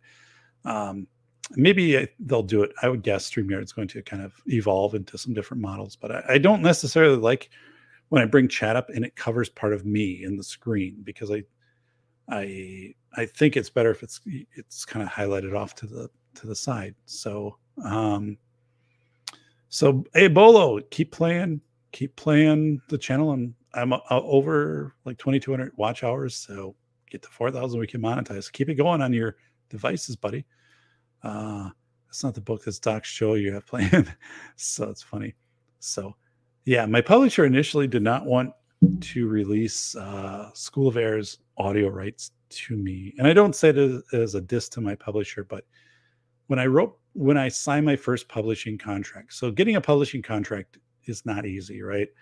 Um, with a traditional publisher because then your book is in libraries across the world and things like that. Um, so with that i did i did not sign for audio rights. I never thought about it back in 2000 i don't know 16 when i wrote when i signed the contract or 2017 the book came out in 2019 um, so then you know people have asked me is it an audiobook and i'm like no can it be an audiobook?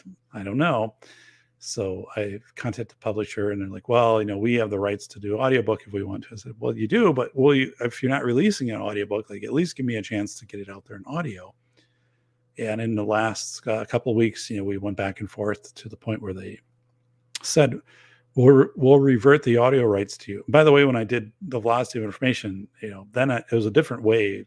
I knew what to how to um, negotiate the contract for that, right? So all that stuff was right up front and put together. But um, so I went back and I said, well, you know, it's been almost three years.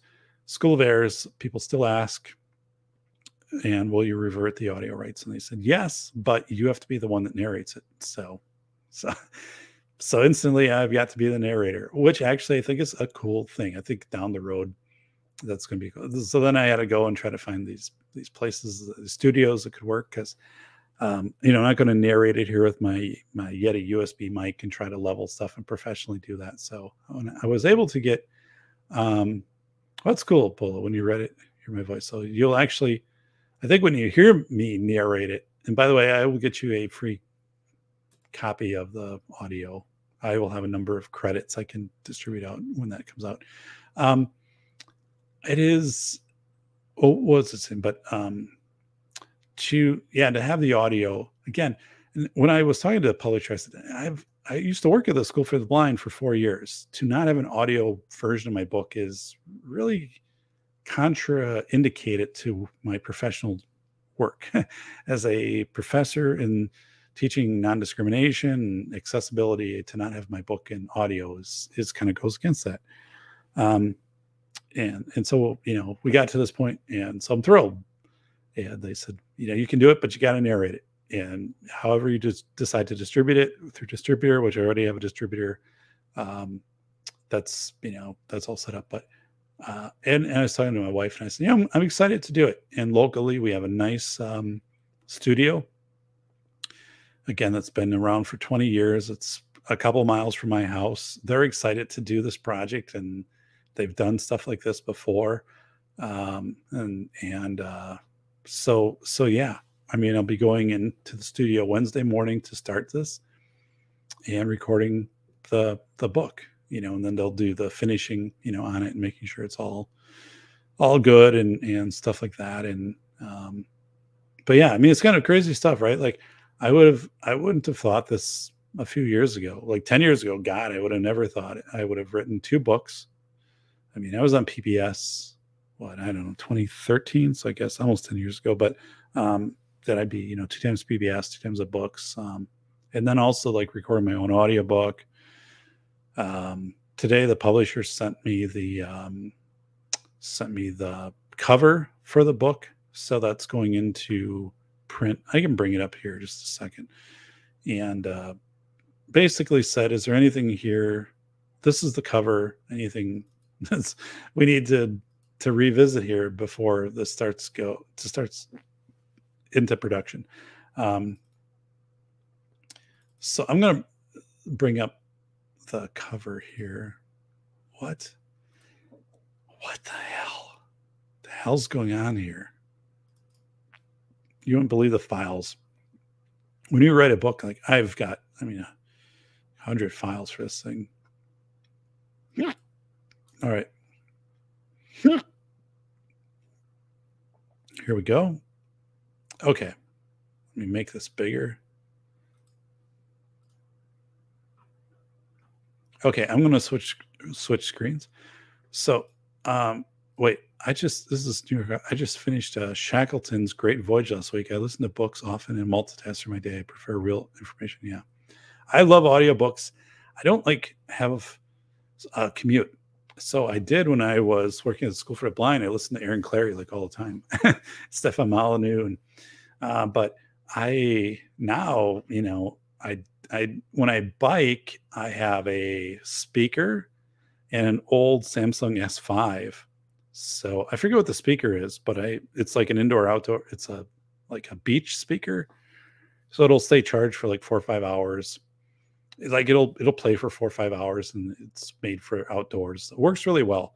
And I have that old Samsung that I will download my or put my audio over and listen to podcasts and stuff.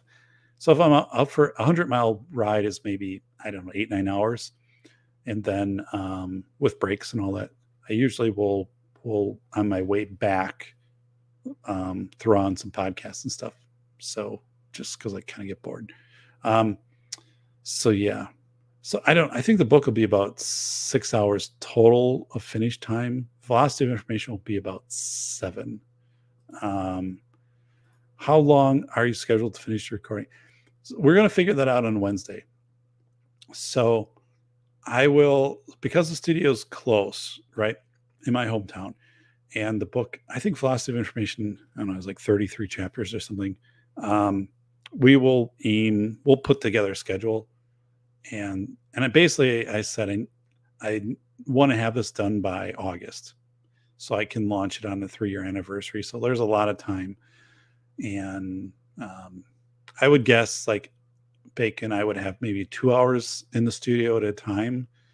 So maybe you know that we would record three to four chapters at a time and again like they have all their you know it's regular studio right? It's like leveling stuff and it's all you know rendered so it doesn't have um so it meets all the requirements for the audio distributors but um but yeah i have to go in i have to do a little work on my side i have to go into the document as a pdf and then it has to be in a screen so like a tablet that i can swipe through it and then um what I did for Velocity of Information is I spent a couple of weeks with the PDF and I I noted things for the narrator.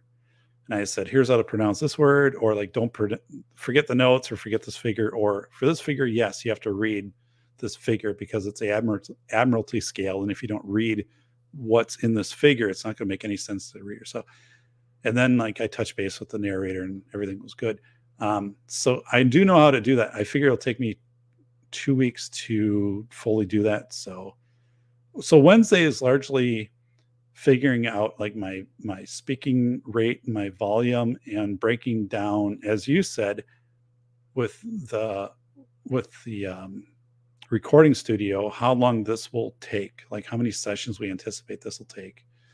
Um, so, yeah, and then you know they've got some you know will i stand when i'm doing this am i going to stand or am i going to sit or like you know those things we're going to take some audio samples on wednesday i i think it's going to be better if i stand when i when i deliver these so and then the kind of like what's your threshold and i think my threshold will be like a two hour session i don't think i'd want to go beyond that um but so yeah it's cool it's cool stuff um, my dad is going deaf. Yelling doesn't help learning how to communicate. Still, sorry to hear that below. Um, I've done 40 miles in about four hours once, but that was a long time ago. New York Outcast biking. So yeah, I don't bike for speed. Um, well, I, yeah, I don't. Sometimes I shouldn't say it. Sometimes I do. Sometimes I'll go out and I'll be like, I want to maintain 25 miles an hour for, you know, a mile and then like down into like 18 for another mile and then up to 25 or to try to like get my blood flow and heart rate but um when i do i don't do 100 miles at the start of the season my first ride will be 30 35 you know a couple of those and 40 45 50 and once you get up to like 70 70 the, the for me the jump between 70 mile bike ride and 100 isn't a big deal and people will also say, well, if it's really hot, like, does that slow you down? I'm like, actually, it doesn't. The hotter it is, the better it is for me to bike. Personally, I think my muscles stay looser. Um, I I tend to understand hydration well. Like, I would much rather do a hundred mile ride on a 90 degree day than a 70 degree day. Seven days of the week. Um, and once you the the thing is and and you and i don't cramp up because i understand you know electrolytes and all of that like i really got this down to a science um but i i absolutely um just love those long treks. And i know i know i know ahead of time where i'm going. Like i've all you know mapped out and stuff like that. And and um there is there is something um uh, cathartic to your mind when you when you do that. And i've you know i've gotten to the point where then i come home i can get off the bike and you know do all the wind down stuff i need like take all the stuff off the bike and all the lights like you know all the lights have to charge and then usually they stay charged throughout the ride sometimes i have to replace them out with other like uh, i have a little flashing headlight little flashing light on my helmet and stuff like that for the back but um i can walk in the house grab a shower and be fine. Like I could go out that night and run or do anything. I, it doesn't wipe me out. It's so it's so amazing. But I uh, it's weird because like Wisconsin, from April to October you can bike, and then after that you're pretty much screwed. So like right now I feel like everything I've gained from biking I lose. Like I was suntan, fit, like you know probably weigh 15 20 pounds less but uh, uh, no i absolutely I absolutely love distance biking, getting up in the morning and uh, uh, I don't. I'm just, I am going to, like I said, I haven't shared that with you too much because I haven't taken videos when I bike. So I'm going to take some videos to show you some of the, you know, I'll I'll edit those. Like, right, I'll, here's how I do some of the prep stuff when I get out there and here's some of the places I go, and I'll show. I'll I'll take you to the thousand year old effigy mounds that I bike past. We'll we'll walk past. We'll go through those. Um, I'll I will I'll take you right along with me and show you the farms, you know, with the barns from the 1860s and stuff like you know the that are still the family farms and uh, the the cranes and the fields and stuff like that. Um, you know, I'll take you through everything and uh, you know condense it down so it's really great. It's and it's something too where I don't know again how many of you really know, but I didn't bike um, when I was um, when I was oh god 40. So I'm 50 right now. When I was 40, the most I biked was probably I don't know. I, I used to bike like 10 miles in college quite a bit. We had trails around the campus, like so I would bike quite a bit. I had a heavy steel trek bike but um, back 1990s, um, maybe 10 miles. And, you know, but when I was 40, I could bike three to five miles before I'd be wiped out, exhausted, just mentally fatigued, didn't care for it. And then, like, I just, it was the summer of 2014. I was like, I'm going to just try. I don't know if I could bike 20 miles. I'm going to try it. So I tried it. I biked 20 miles. And I'm going to try bike 30 miles and 40. And then, and then suddenly I just like, just, boom, I fell in love with biking. Uh, Bacon said, it, it, it's only that uh, Utah moving at a decent clip. Uh, you have a wind to help you. So yeah, I don't like biking on windy days. If it's um, if it's cold, I guess if it's warm, you don't usually get windy days when it's 90 out. But I hate, I don't like wind because the helmet, your bike helmet, um, you just get a lot of shh coming through the the helmet um, because it's meant to circulate air, you know, and cool you down. And I don't, I don't care for windy days. My, uh, this is from Walter. My college roommate suckered me into a 70 mile cold turkey ride on a Schwinn varsity, so small that my knees hit the handlebars. Couldn't walk the next day. Oh God, yeah, I remember those. So, yeah, honest. And I, when I'm conditioned, when I've already had, you know, a month of rides, and it doesn't affect me. I don't get up the next day feeling sore or like that night or stuff. But it's just I've learned. I put the research in, and I've learned how to pack the foods to eat, the things to do before. I mean, when I start, if I if I'm going to do a hundred mile bike ride tomorrow, like I'm already eating certain foods today and prepping for that, like well ahead of time, um, and really, you know, super hydrating uh, myself uh, for that. So this is to Walter. I've ridden bikes I couldn't get full leg extension on and off. Yeah, that's why. Like, I mean, so like I take my bike to a professional bike shop and uh, you know we always kind of do the refitting every year and just to in addition like i have the bike fully checked out every year. Like because part of the bike is uh, uh, what graphite frame? So like any cracks in that can be catastrophic. And at some point like that will give way.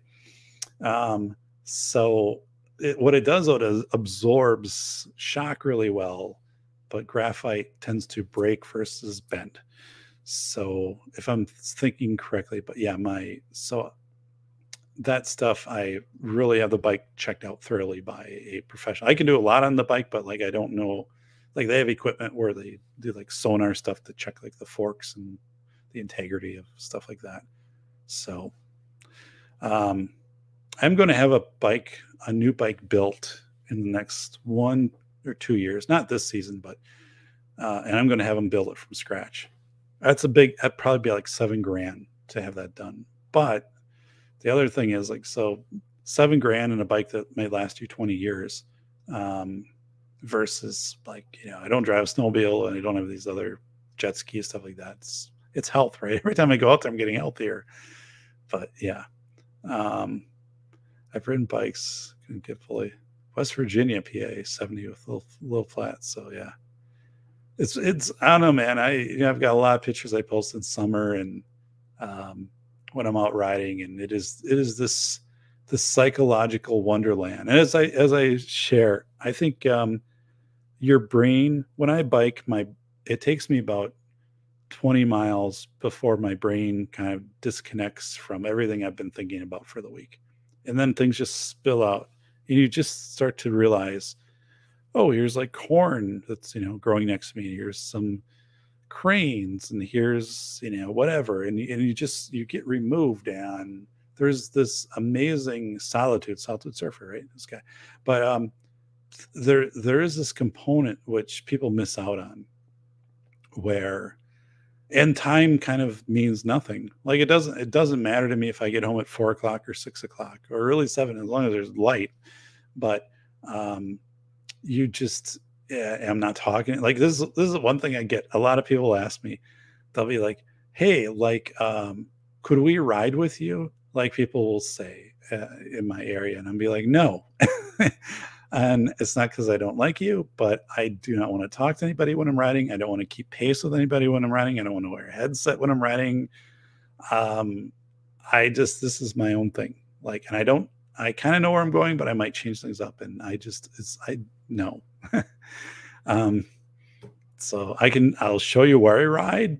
You can use these routes. These are awesome. Go for them. You know, go and do all that. But I I am not going to do a hundred mile ride with anybody.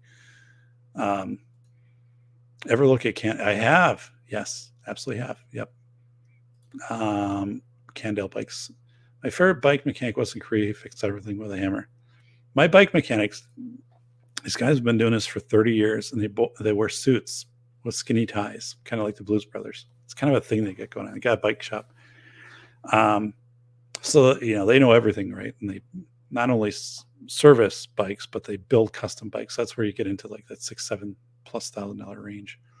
So, and again, I'm kind of there. Like part of it is my age, like, right. I'm retired and I want that. And I do bike and I, I love biking. I'd like to have a more, um, a bike I could do a little more speed on because my current, my current bike, current, you know, is, is meant to, it's, it's the uh, Jeep, right? It's meant that put everything on. It's heavy. It's loaded down. I love it, but I'd like to be able to switch up and say, I just want a bike that I can do 30 miles an hour on for 50 miles. Like that I can just fly. Um, and that's not my current bike. So I'd like to have like a, a way to kind of change those things up. So, um, and I had rims built. I don't know. I might have shared this a couple years ago, but when I had the new rims built for my bike, I mean that was expensive. I think it eh, it cost it cost a lot. It took like two days for the dudes to build the rims for my bike. They built them by hand, hand built rims.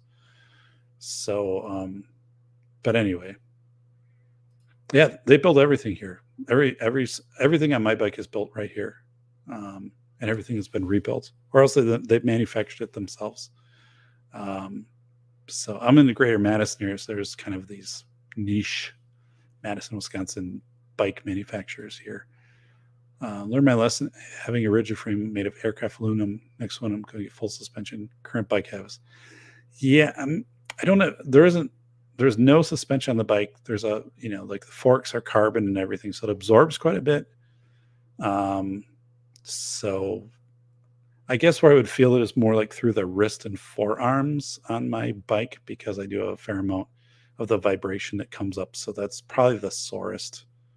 It's not, you know, from calves or hamstrings or anything from pedaling. It's probably just vibration from the the road vibration that's coming in through the frame. But and plus I'm old. Damn it. My bike has the the head check. Yeah, I would definitely if I were to have a bike built, it would be with uh, suspension qualities in it. My daughter has an awesome bike, a Harrow, which was made in California with a full suspension mountain bike. It's better than my bike. She doesn't drive it that much. I'm like, holy God, that is incredible. That is uh, that is amazing bike. You find the zone, the sweet spot, everything uh, fades away. But uh, yeah, it's true. Like the time, the and the best uh, psychological, um, uh, I, I, I would say, evacuations. Uh, that's a poor way to put it. Um, a freeing, a liberation of your mind is uh, 25 miles out, 25 miles into a 100 mile bike ride. You just stop thinking about things. You and then you just start like you're just. I don't. Uh, it's it's hard to explain. I love it it takes 20 miles though to kind of rid yourself of everything that's you're just thinking of or that's going on and then just become part of the ride um, for mental health like it's it's incredible and just for physical health right i mean it's i go to my doctor and i have a doctor's appointment coming up in two weeks which i i don't know i don't know if i dread it i don't dread it but obviously in winter i'm not out biking i don't have the same physical profile weight and all the stuff that I do in summer. So, right, you know, like this whole thing, like in summer, you're in great shape, and in winter, you're not in great shape. So, I'm like, that's the way it is. I live in Wisconsin. So, um, I'm guessing everyone is is different in your outcast. It's very med. It is meditative. It is very meditative, Jim. Um, there's a zen of biking, um, with without a without a doubt, and your how close you are to nature. I mean, deer, turtles, um, we have sandhill cranes. I remember like I was biking a year or two ago and like hundreds of sandhill cranes on the road, and I just had to wait. it's kind of like Polar Express when they wait for the elk or whatever the hell to get off the track. And then they just kind of cleared out. And then I just kept biking. And I'm like, wow, you know. Um, but it is, yeah, it is a meditative thing. And uh, I, I, I just, I don't think people do it enough. Um, and I think there is something said, at least for me, to not be around other people. Um, when you do these types of things, I think there is there is a big quality for not having to continually keep your mind engaged in a conversation or monitoring somebody else or whatever. Like there's times for that, I get it, but it's like that's biking for me is like, I don't know. And and I have to try to explain that to people in a way that doesn't hurt their feelings. I'm like, it's not that I don't like you. It's just that when I, and it's not that I don't think you can bike 100 miles, but again, I, this is something, it's solo. I, I do not want to talk. I do not want to monitor anybody else. I want to stop when I need to stop. I want to go at the pace that I want to go. And so um, I don't know. I, I haven't biked with anybody in a long time. Um, so yeah. Um, I bet it was pricey to build a wheel set, hand lacing. It was. It was costly as hell, and uh, it's held up well, um, really well. And then every year I take it in, and then they tune the um, they tune the spokes on that, and they true the they true the rim. But it was expensive. Yes, it's worth. I mean, it's expensive relatively speaking, right? Because so I'm biking, and I'm building up my health my physical health, my mental health, and all of that. And put, you know, I'm not having to buy gas for it or anything like that. I do all my own maintenance on the bike during the season. So, from that aspect, like it's a huge positive. Um, so yeah, the old Schwinn homegrown are great, especially if you're a s- uh, and so I had a couple Schwinns, yeah. So um I try to write every day until it gets hot out. And so Heath said, Well, Heath, subscribe to this channel, by the way. Um, that's awesome. I don't know what hot out is by you, but I don't, it would take quite a bit for me to not bike because of heat. It would be something called um, the wet bulb effect. The humidity would have to be up so high that if you biked, your sweat wouldn't evaporate, which then your body heats up and you could die. Like, I wouldn't do that. But I love biking in 90 degree weather. Absolutely. And I remember like I'll bike in 90 degree weather. There'll be people out biking and they'll bike. They might be in a much shorter truck than I'm at. And they they always will say, like, hey dude, are you okay? But you're like, yeah, I'm my body's built for this and I I'm fine. Like I'm really like I'm good. Thanks for asking. but that is everybody like is real worried about you. They're not worried about you when you just mangled in the middle of a road after an accident, you know, like I was there. But if it's 90 degrees, like they'll pull over and be okay. I'm, I'm good. Like I choose to be out here. It can be a natural high. So yeah, hiking. You're right. Yeah, I did a hike. Um, I did a hike last week, which was a little misleading because it was like 40 degrees.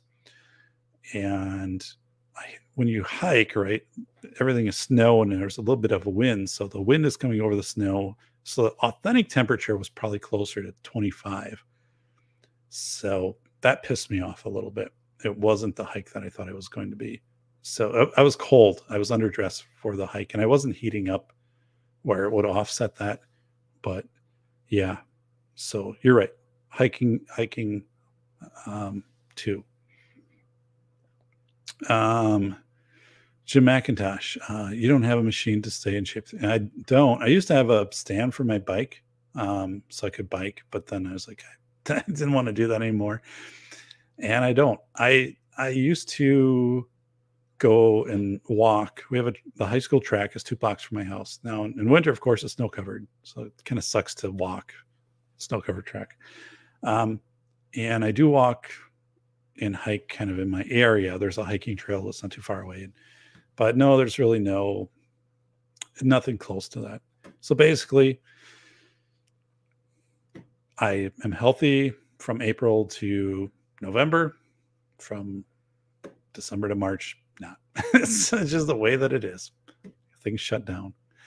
It's cold and I don't like being outside. Uh, bacon and gym, perhaps over long haul. Personally, I don't like riding bikes. You're physically attached to. Keep in mind, most of my riding days are in LA. It's like, yeah, I don't.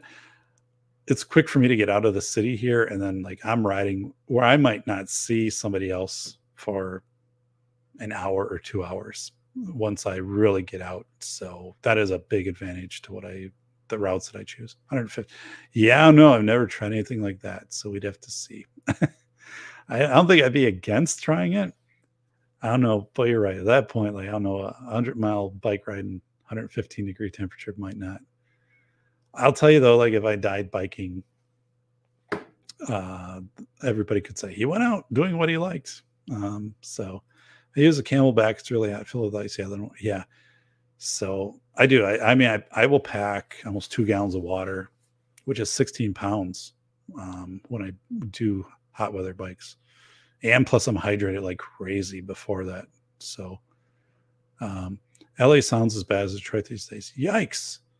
Heath, that is hot. I refuse to be anywhere without outside AC or vitamin C, right? Your or vitamin D in your body. Cross country skis. I haven't done that in a long time. Keith, yeah, it's very hot for three months a year, but no snow. Yeah, we have snow. Not a lot of snow here, but of course it doesn't melt because it's like very cold. And then just the cold is the one of the problems is like our so I live in the second oldest city in Wisconsin. So there are very few sidewalks.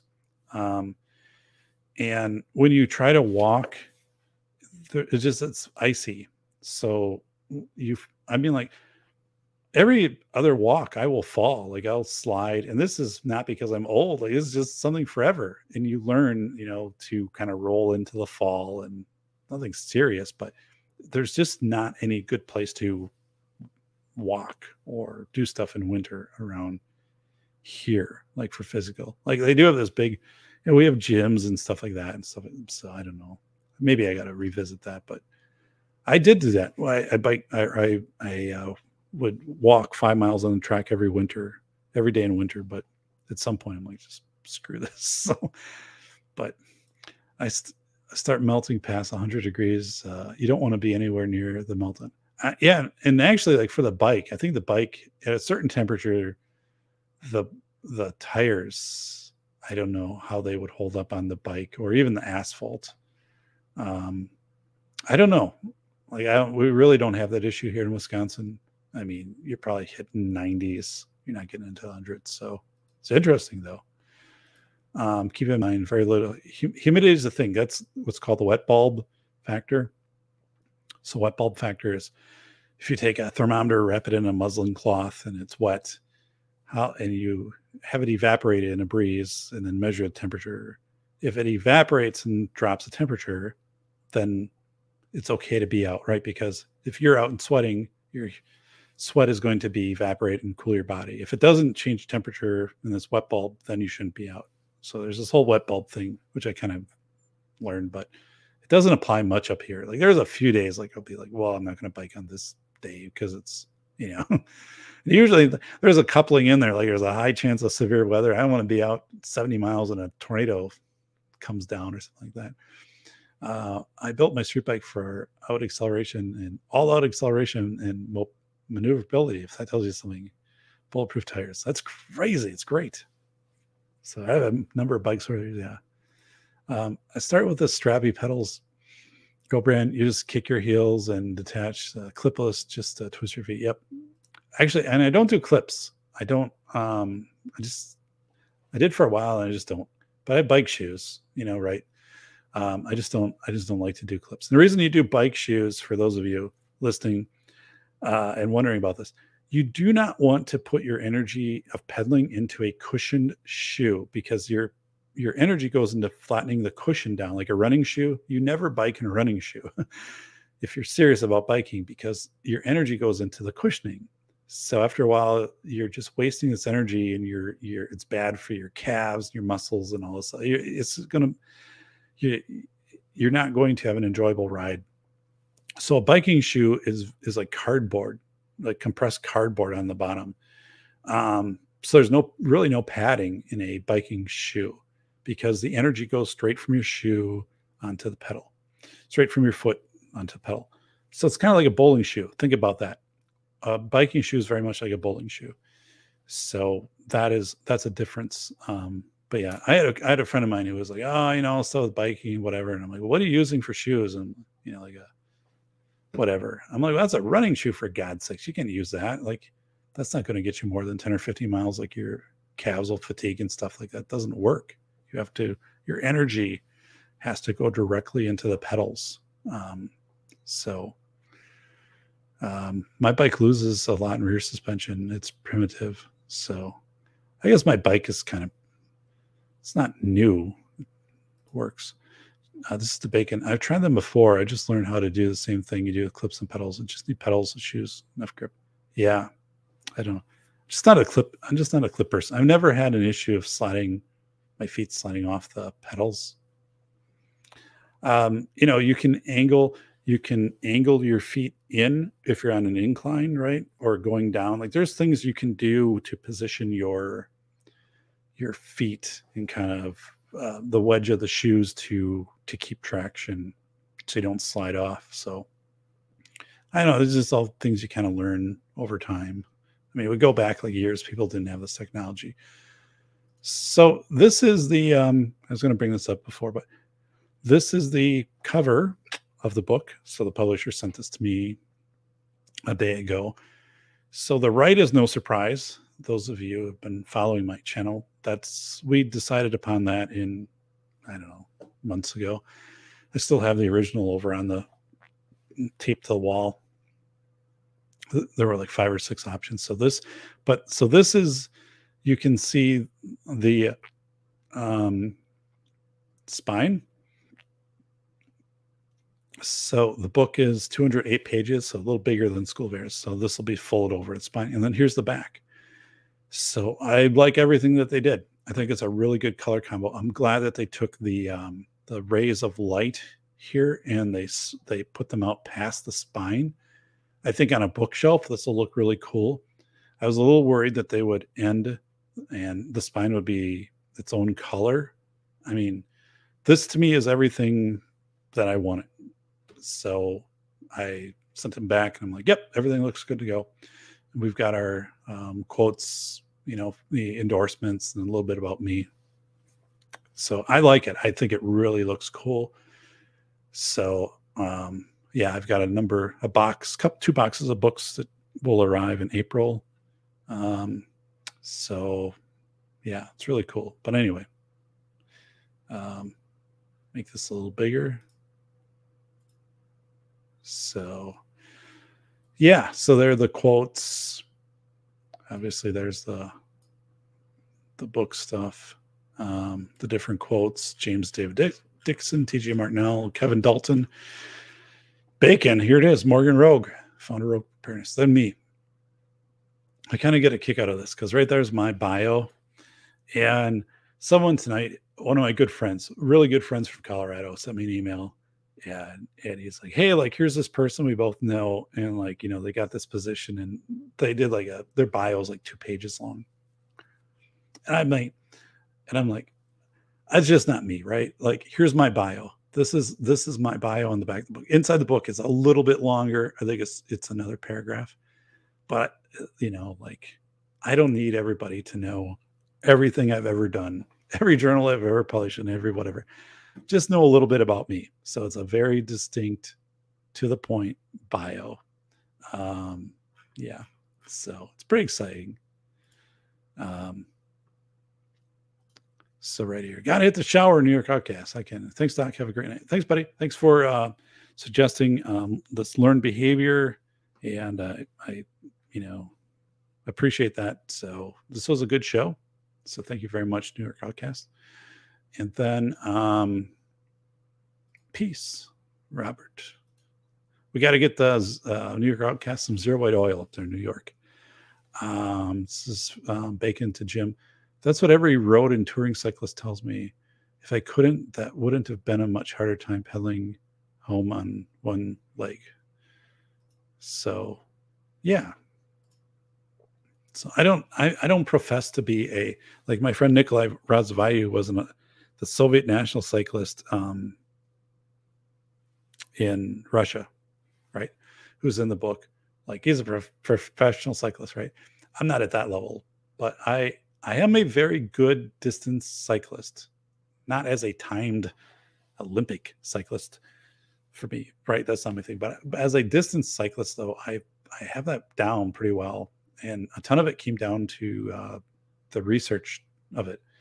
I bring along salt pills, like I, and then understanding electrolytes and stuff like that, like, and um, I don't know, man. Just if you ever have a chance to to to do it, I'm just a big biking fan. It's been a good thing for me personally. Um, so. So let me do a recap, and then we will uh, end our show. So our our show title was the Braess uh, paradox: psychological impact of the I-35 bridge collapse on behavior. So the Braess paradox is saying, hey, when you get things, say like you have a road, and you're like, I'm going to add another lane to this road, so then it'll be more efficient, right? Like uh, people will be able to get to their destinations faster. The Braess paradox says once you do that, the people who are taking these kind of side roads and stuff to get to where they go, like they'll be like, "Oh, I'm going to take the main road," and then they you have more people on the main road than you anticipated. And once then you speed traffic up on these roads, uh, people once it, gets densely there, there's a lot of density on the road. People slow down to like 40 miles an hour, and then like the more people there are, they slow down even more and there's there was a study with humans versus ants. Ants like they put you know food somewhere and then they follow ants as food. Ants would go like at the same pace, and then they would throw these things in like where the ants would have to narrow down to like two ants, two ants side by side. And the ants would kind of they adjusted that. The two ants would go faster, the other ants would kind of keep their pace, but then these ants go really fast, and then they would kind of like and people though um you know it, they they don't do this right so you everybody gets on these big roads 405 media or 405 los angeles stuff like that. And you think it's going to be great. It's not. Um, so they start to shut down some of these roads and actually things go better because people start to take them different roads and more roads get used. Um, we also talked about this thing called forced learned behavior in today's show.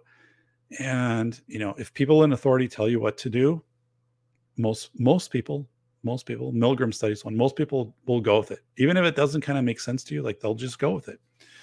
Um so that that is something. And then this whole thing of if you uh, when the i-35 bridge which was the bridge over the mississippi collapsed in 2007 unexpectedly and people were killed um, in in minneapolis so when they built the bridge well then they they they put up signs and told people here's where to go after that and things like that. people were really hesitant to do that and things like this but they they went usually when people found a route around it they stuck with that route they didn't try to improve upon it so that's one thing so when something happens that you don't expect people try to find something to get them to their destination or their outcome and then if they find that they're like this is it. I'm going to stick to this. I'm not going to i'm not improving. Like i could spend some time maybe cut some minutes off this. When the i-35 bridge was reopened in 2008 the city of minneapolis the dot they anticipated people would flock back to this bridge. Didn't happen. And they had more lanes they had more it was easier to get on and off the bridge stuff like that. Um, people didn't come back. And then they started interview people and the reality is um, if you what they found is they were looking at other bridge closures and replacements throughout the state of Minnesota and the US stuff like that. If you tell people, hey, like here's a major bridge, major artery, right? We have to close it down to replace it or repair it. It's going to be out of service for a year, but here, like 60 days notice. Signs are up, everything. People be like, that sucks. I'm not happy about it, but okay. I will learn this other route that you put down for me. And then when the bridge reopens in about one week, everybody returns to that bridge. But after the I 35 bridge collapse, because it was unexpected, um, when the bridge opened up, only about 80% of the people returned to the bridge. It never hit this capacity, even though they, they were afraid of Braess paradox. The bridge would be overwhelmed, like people would flood back to the bridge, and that just didn't happen. And the thing was, when chaos hits people and they don't expect it, they try to find this path and then it, to get them to their destination, then they just stick with it. And they're unwilling to come back to this other thing because they're like, ah, I trusted the bridge and the bridge fell down. So I'm not going to trust it again, or you government, right? I'm I'm not going to trust you. So the point, the takeaway there with learned behavior is tell people ahead of time, here's what could happen. Here's what you could be in store for. And if it does, here's probably what it's going to look like and whatever. And if it happens, people tend to respond to that pretty well, whether they're young or old. And if you know it, right, to not hold back this information. Example will be, so, yeah, a loved one is dying of cancer, right, and they're in hospice, and you say, and you're not truthful with the relatives or whatever that eight to ten weeks, and that's probably it. Um, but if you tell people, you go in and yeah, this is what. Don't tell them, oh, you know, you're going to get get better or whatever. I mean, it's you enjoy the time and and things like that, and it's like eight to 10, 10 weeks, and there there'll be a deterioration and things, and people know they anticipate that, right? Um, so it is it is this, and I use that quote from the Joker in The Dark Knight Rises, you know, which was uh, really spot on psychology you tell people, hey, you know, a truckload of soldiers are going to be blown up or whatever. Nobody panics because it's all part of the plan. Not as it's not that it's any less horrific, but people can handle horrifying news if it's in the future, if you're projecting something is going to be happening, likely happening. So it's something good personally to know. And then also use the psychology of that as saying, if things happen very suddenly in your area, counterintuitive what's your counterintuitive thought like are people gonna like where i'm at people would rush to the interstate so the interstate would be gridlock people you wouldn't be able to get out that way. So i know other ways to get out of town. What might be stores that everybody's going to go to? What would be behavior what is what will most of the people do then be that 10% of the of not doing that getting yourself ahead of the pack and out of harm's way? And that takes a little bit to to think about that. So um so let's go and finish out the chat here. So I added a rear hub to my 20 year old mountain bike with pedal assist. Cool. Yeah, that's awesome. I um I see a, a lot more of the um, e-bikes out there too. To me, I'm not an e-bike guy because I just think my purpose of biking is physical, my uh, exercise, right? I I'm not biking necessarily for the scenery. I want to bike for the scenery plus the physical workout. But yeah, rear hub motor. But I mean, I at, at some point I'll probably be like, I'm going to go e-bike because I still like biking and I'm switch it up. So Doc's next touring season will be sponsored Brawndo. Yeah, too many electrolytes with Brawndo. Andrew, Brawndo is what pl- they do crave that. ants have better, yeah. Ants, ants work really. the The goal of the ants, right, is the benefit of the of the ant community. The goal of humans is the benefit of the individual human. So in the studies of roads, right, we don't communicate with other drivers on what's best. We are just trying to do what's best for our own interests. Where ants are trying to do what's best for the colony.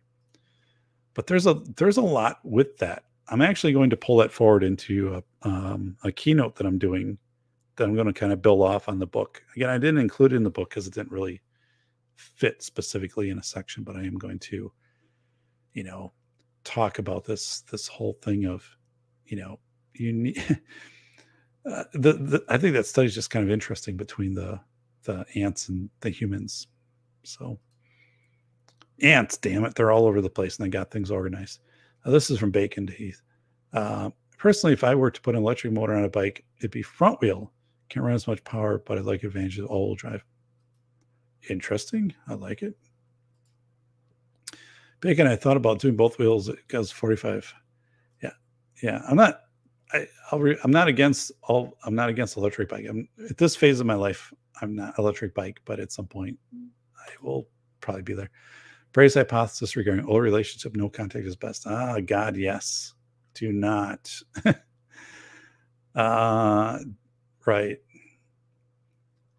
That's interesting because I would say a Braess' hypothesis for an old relationship would be the moment you would open up a path of lesser resistance of communication, right? Let's say that because right now, like the relationship is distance from time and stuff, and uh, but if if you were to create this this shortcut path of communication and things like that, I think right I could be overwhelmed and bring back a lot of things and uh, right. It's a Braess hypothesis. It's say no. That would be my philosophy on older relationships is to completely leave them wherever they are at and do do nothing um, into those areas whatsoever because as as if you open up um, anything i think the bad it's bad so and that overwhelms your your shortcuts so. If that makes sense. Um teeth that's pretty damn fast. My thought was an electric motor up front gas powered trap uh you can see some of my rides on my channel. Cool heath. Very good. Enjoy the live goes that thank you dj Plenix. appreciate it. Um heath are you even able to put additional pedal power at 45 yeah i don't know. I don't think i could add anything if my bike was doing 45 I'd be like you're on your own at this point no pedal power at that speed but it's just fun. Um didn't know hey thanks heath. Heath's got a channel. That's awesome. So let's see here. Let me, heath does? I'm up over here. So heath um i am about to be your uh second subscriber here so hit me up with a subscribe back buddy. Um, Jim, however, if you see people as a wolf pack, uh, the heath of the wolf is the, the health of the wolf is the health of the pack. True. Good. Yeah, absolutely. Um, that's the one. So Heath's got it out there. So that's really cool. Heath, I did subscribe to you, buddy. So again, do the uh do the doc uh favor and subscribe back.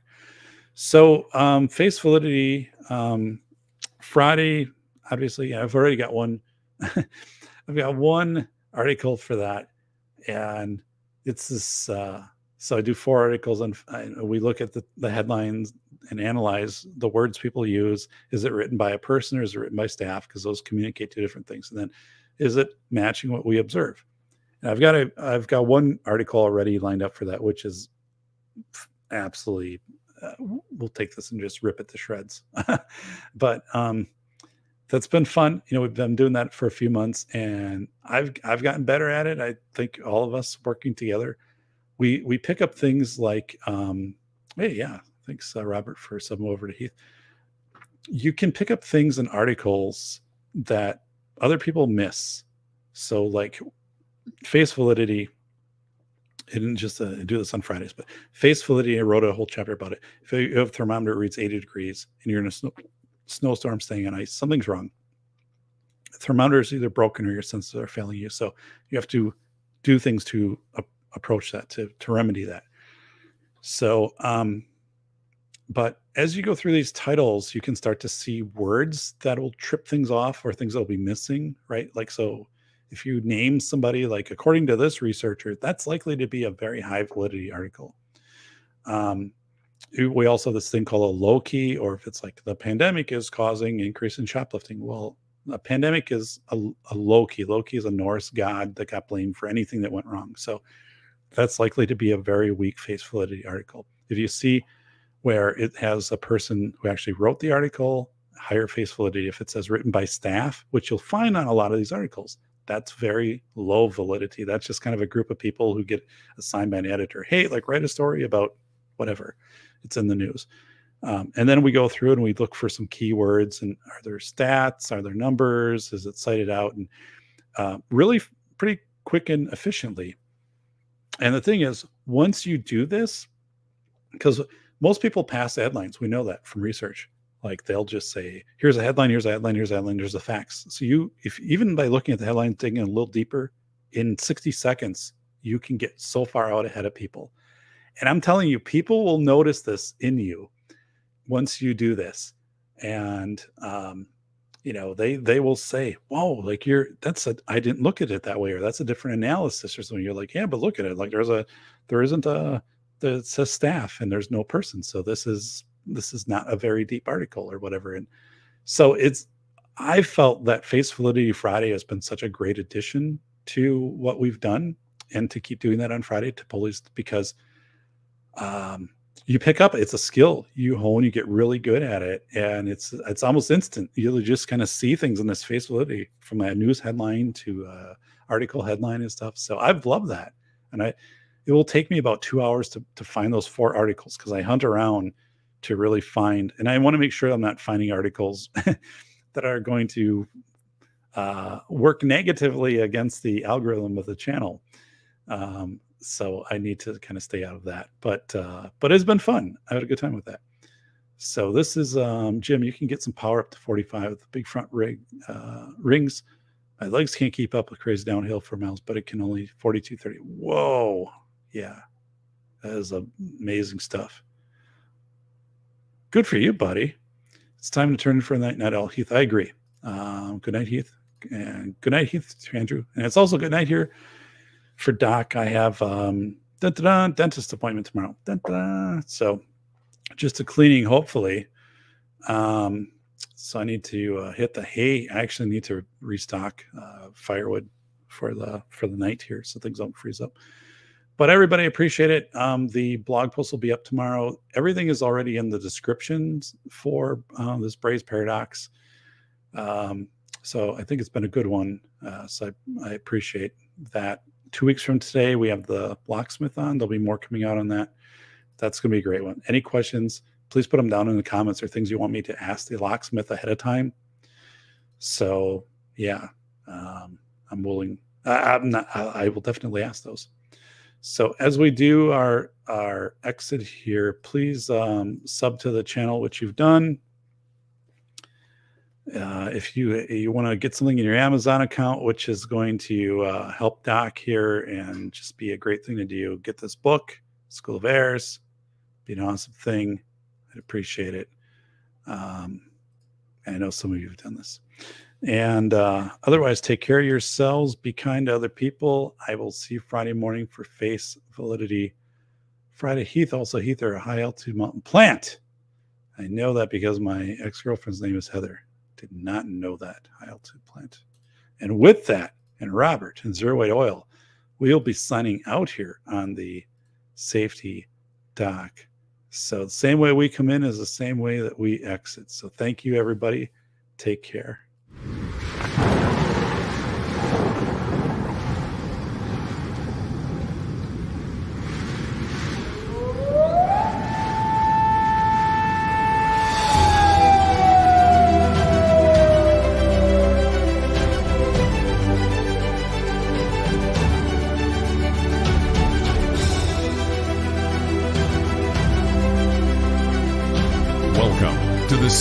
Doc Podcast with author, radio host, and nationally recognized safety expert, Dr. David Perrodin. Join us each week as we discuss the best and most bizarre practices in safety preparation and crisis response.